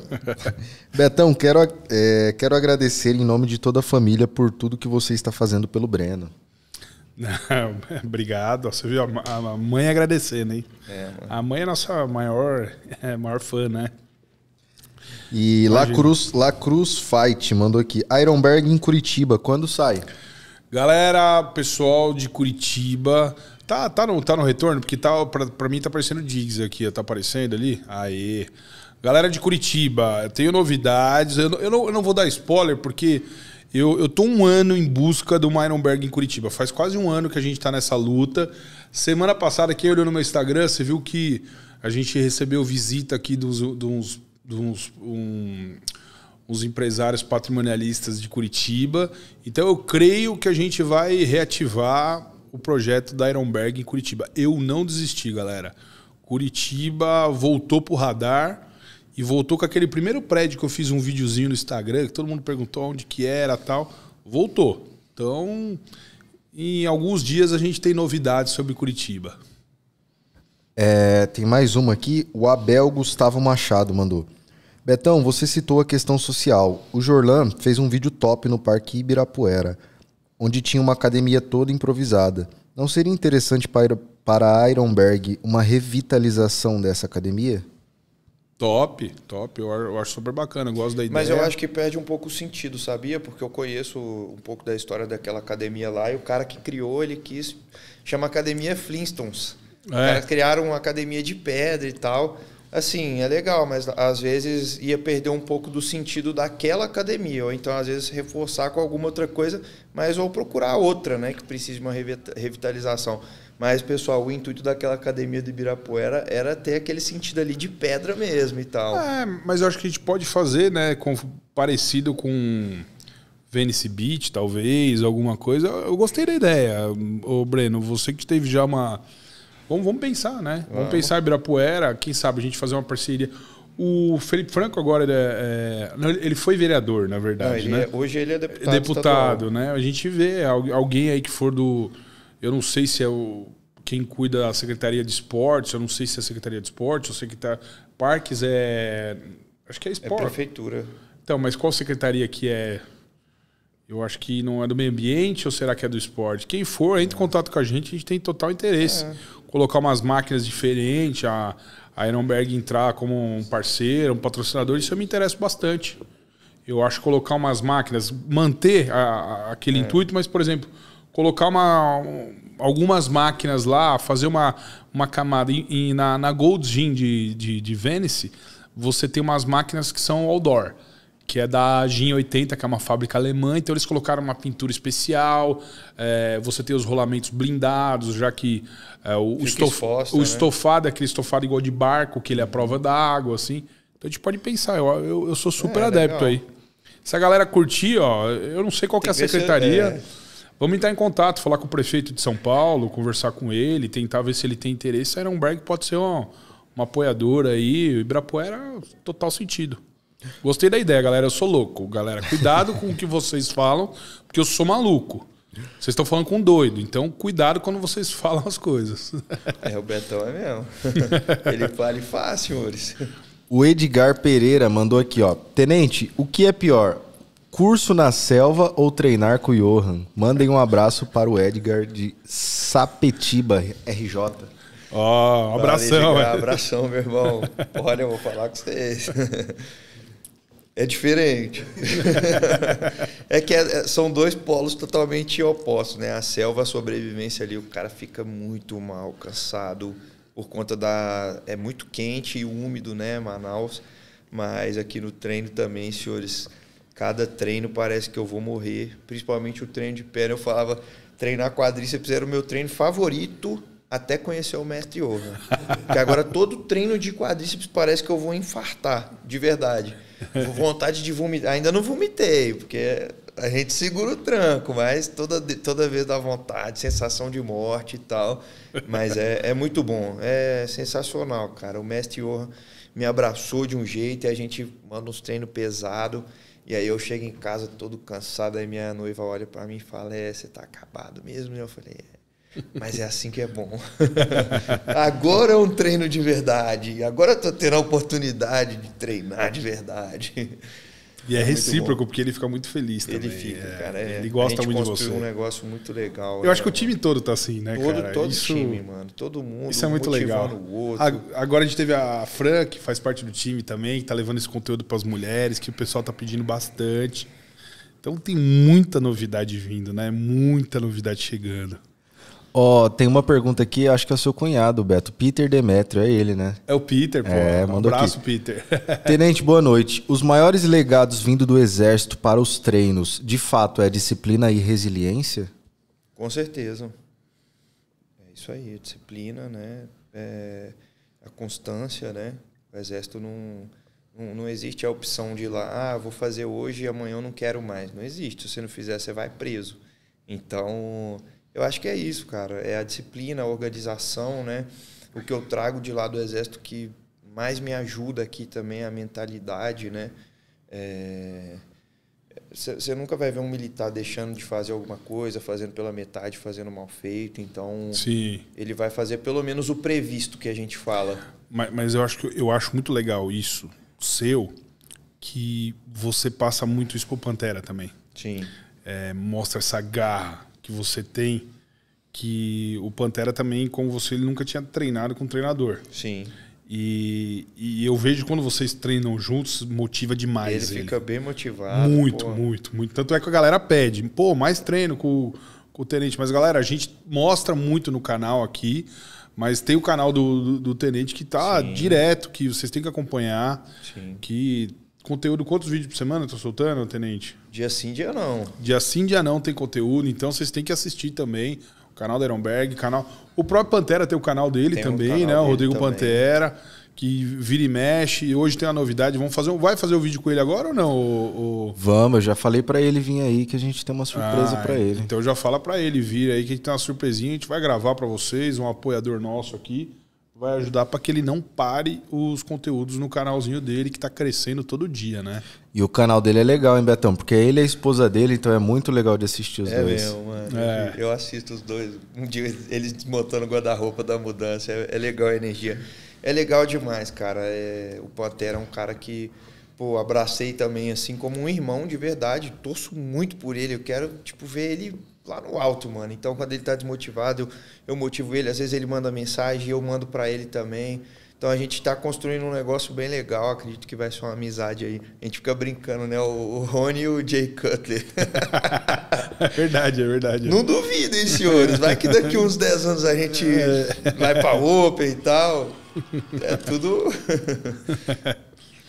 E aí, Luquinhas? Tem, tem uma legal aqui do Fabrício Soares. Ele mandou aqui. Boa noite. E Salvador?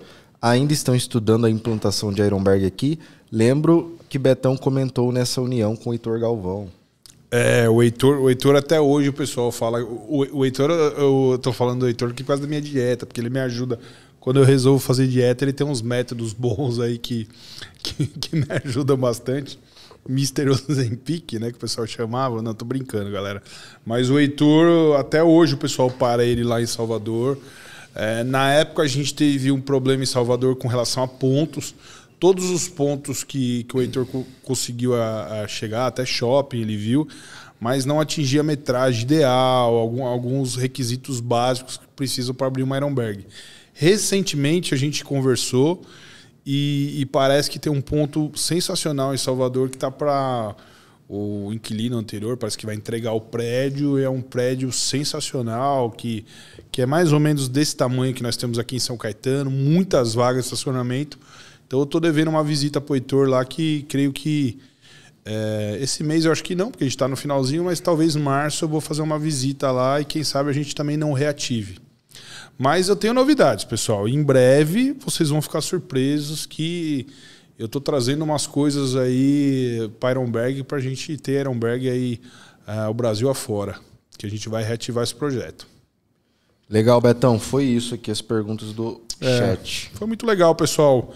Vocês pediram, o Tenente aqui no Ironberg Podcast, tá com a gente todo dia, mas é legal a gente conhecer um pouco né, da, da sua história, desde o começo ali, como você começou a vida, como você entrou pro esporte, um pouco da sua, das suas particularidades aqui que a galera não conhecia, né? A gente tá todo dia, sabe, e vai estar sempre presente. E depois participar também, um dia, Tenente, no dia com, com o Ironberg Mesa Redonda, que é toda terça agora. Um dia vamos ver sua agenda aí para você participar também e tá com, com a galera. É diferente, tá? Não é esse formato aqui de entrevista, é mais mesa redonda mesmo. Sim. Mas é muito legal você tá com caras aí que são enciclopédias aí do, do bodybuilder aí, o, o Jorlan, que, porra, né? A gente tá no dia a dia que o Jorlan é sensacional. Mas vai ter com o Itinho Lima também, com, com o Caramelo, são caras que, que são enciclopédias do, do, do bodybuilding, tanto nacional quanto internacional, eles sabem de tudo e vão compartilhar com vocês toda terça. Vamos ver se a gente encaixa uma terça para você participar com eles também. Será uma honra. É, e você vai ver que você vai aprender muito. Eu, toda vez que estou com os três, eu aprendo bastante, assim. Ó, nem fala. O, o Jorlan, então, mano, é surreal. O Jo- Jorlé é O demais. que a né? gente senta pra ouvir as histórias dele e fica É. só, caramba, mano, que top, né? E é isso. Eu que agradeço a oportunidade de estar aqui contando um pouco da nossa história, né? Sim. É, é o que eu falo, Betão. Hoje, além de. Eu tenho alguns objetivos na minha vida e alguns propósitos e metas que eu vivo, né? Eu sou um cara movido a, a objetivos, metas, coisas que eu quero conquistar. No meu lado de atleta, eu quero buscar o Procard. No meu lado família, eu tenho os meus objetivos de construir minha família, ter meu casal de filho e tal, ajudar meu irmão, tentar trazer ele de volta para cá. E eu também tenho um propósito que eu vivo hoje, que é justamente esse, de inspirar, motivar pessoas. Né? Se Deus me proporcionou através dos meus dos meus ensinamentos, das minhas superações, das Sim. minhas histórias, ajudar outras vidas, né? Eu vou viver esse propósito dele com maior orgulho e é com muito, é, muita motivação para mim que eu faço isso, de verdade. Não é um conteúdo de mentira, não é uma coisa que eu faço isso de coração e com o intuito realmente de ajudar as pessoas. Tantas pessoas que param e falam, pô, mano, comecei a ser mais disciplinado através dos seus vídeos, do seu conteúdo, é, comecei a treinar. Então, se eu não servisse de inspiração para o bem, eu não seria tão feliz igual eu sou. Eu agradeço muito todo, todo mundo que acompanha, né, que faz parte dessa trajetória. Tenho certeza que cada conquista, cada degrauzinho que a gente vai subir, vocês são base para isso, são motivação. E vamos para cima sempre, como a gente fala sempre, missão dada é missão cumprida. É isso aí, galera. Então esse foi mais um Ironberg Podcast, nova temporada 2023. E vou deixe também aqui nos comentários quem que vocês querem ver aqui. A gente tem vários convidados para trazer. Agora a agenda firmada toda terça e quinta às 7 horas da noite. Só vocês deixarem nos comentários, pode ser nesse vídeo, pode ser nos vídeos que a gente solta diariamente, todo dia ao meio-dia. Deixa aqui os comentários. Não se esqueçam de inscrever no, se inscrever no canal. O canal está mostrando, pro, tá, tá passando por algumas transformações positivas que vocês vão gostar muito, tanto no formato, na edição, produção, direção. A gente quer profissionalizar mais para entregar um conteúdo profissional e de qualidade para vocês. Então é só deixar os comentários que a gente sempre fala quem manda aqui no na Ironberg são os alunos e quem manda no canal são vocês que, que nos assistem. Fechou? Obrigadão, hein, tenente. Obrigado. Um abraço e boa noite a todos.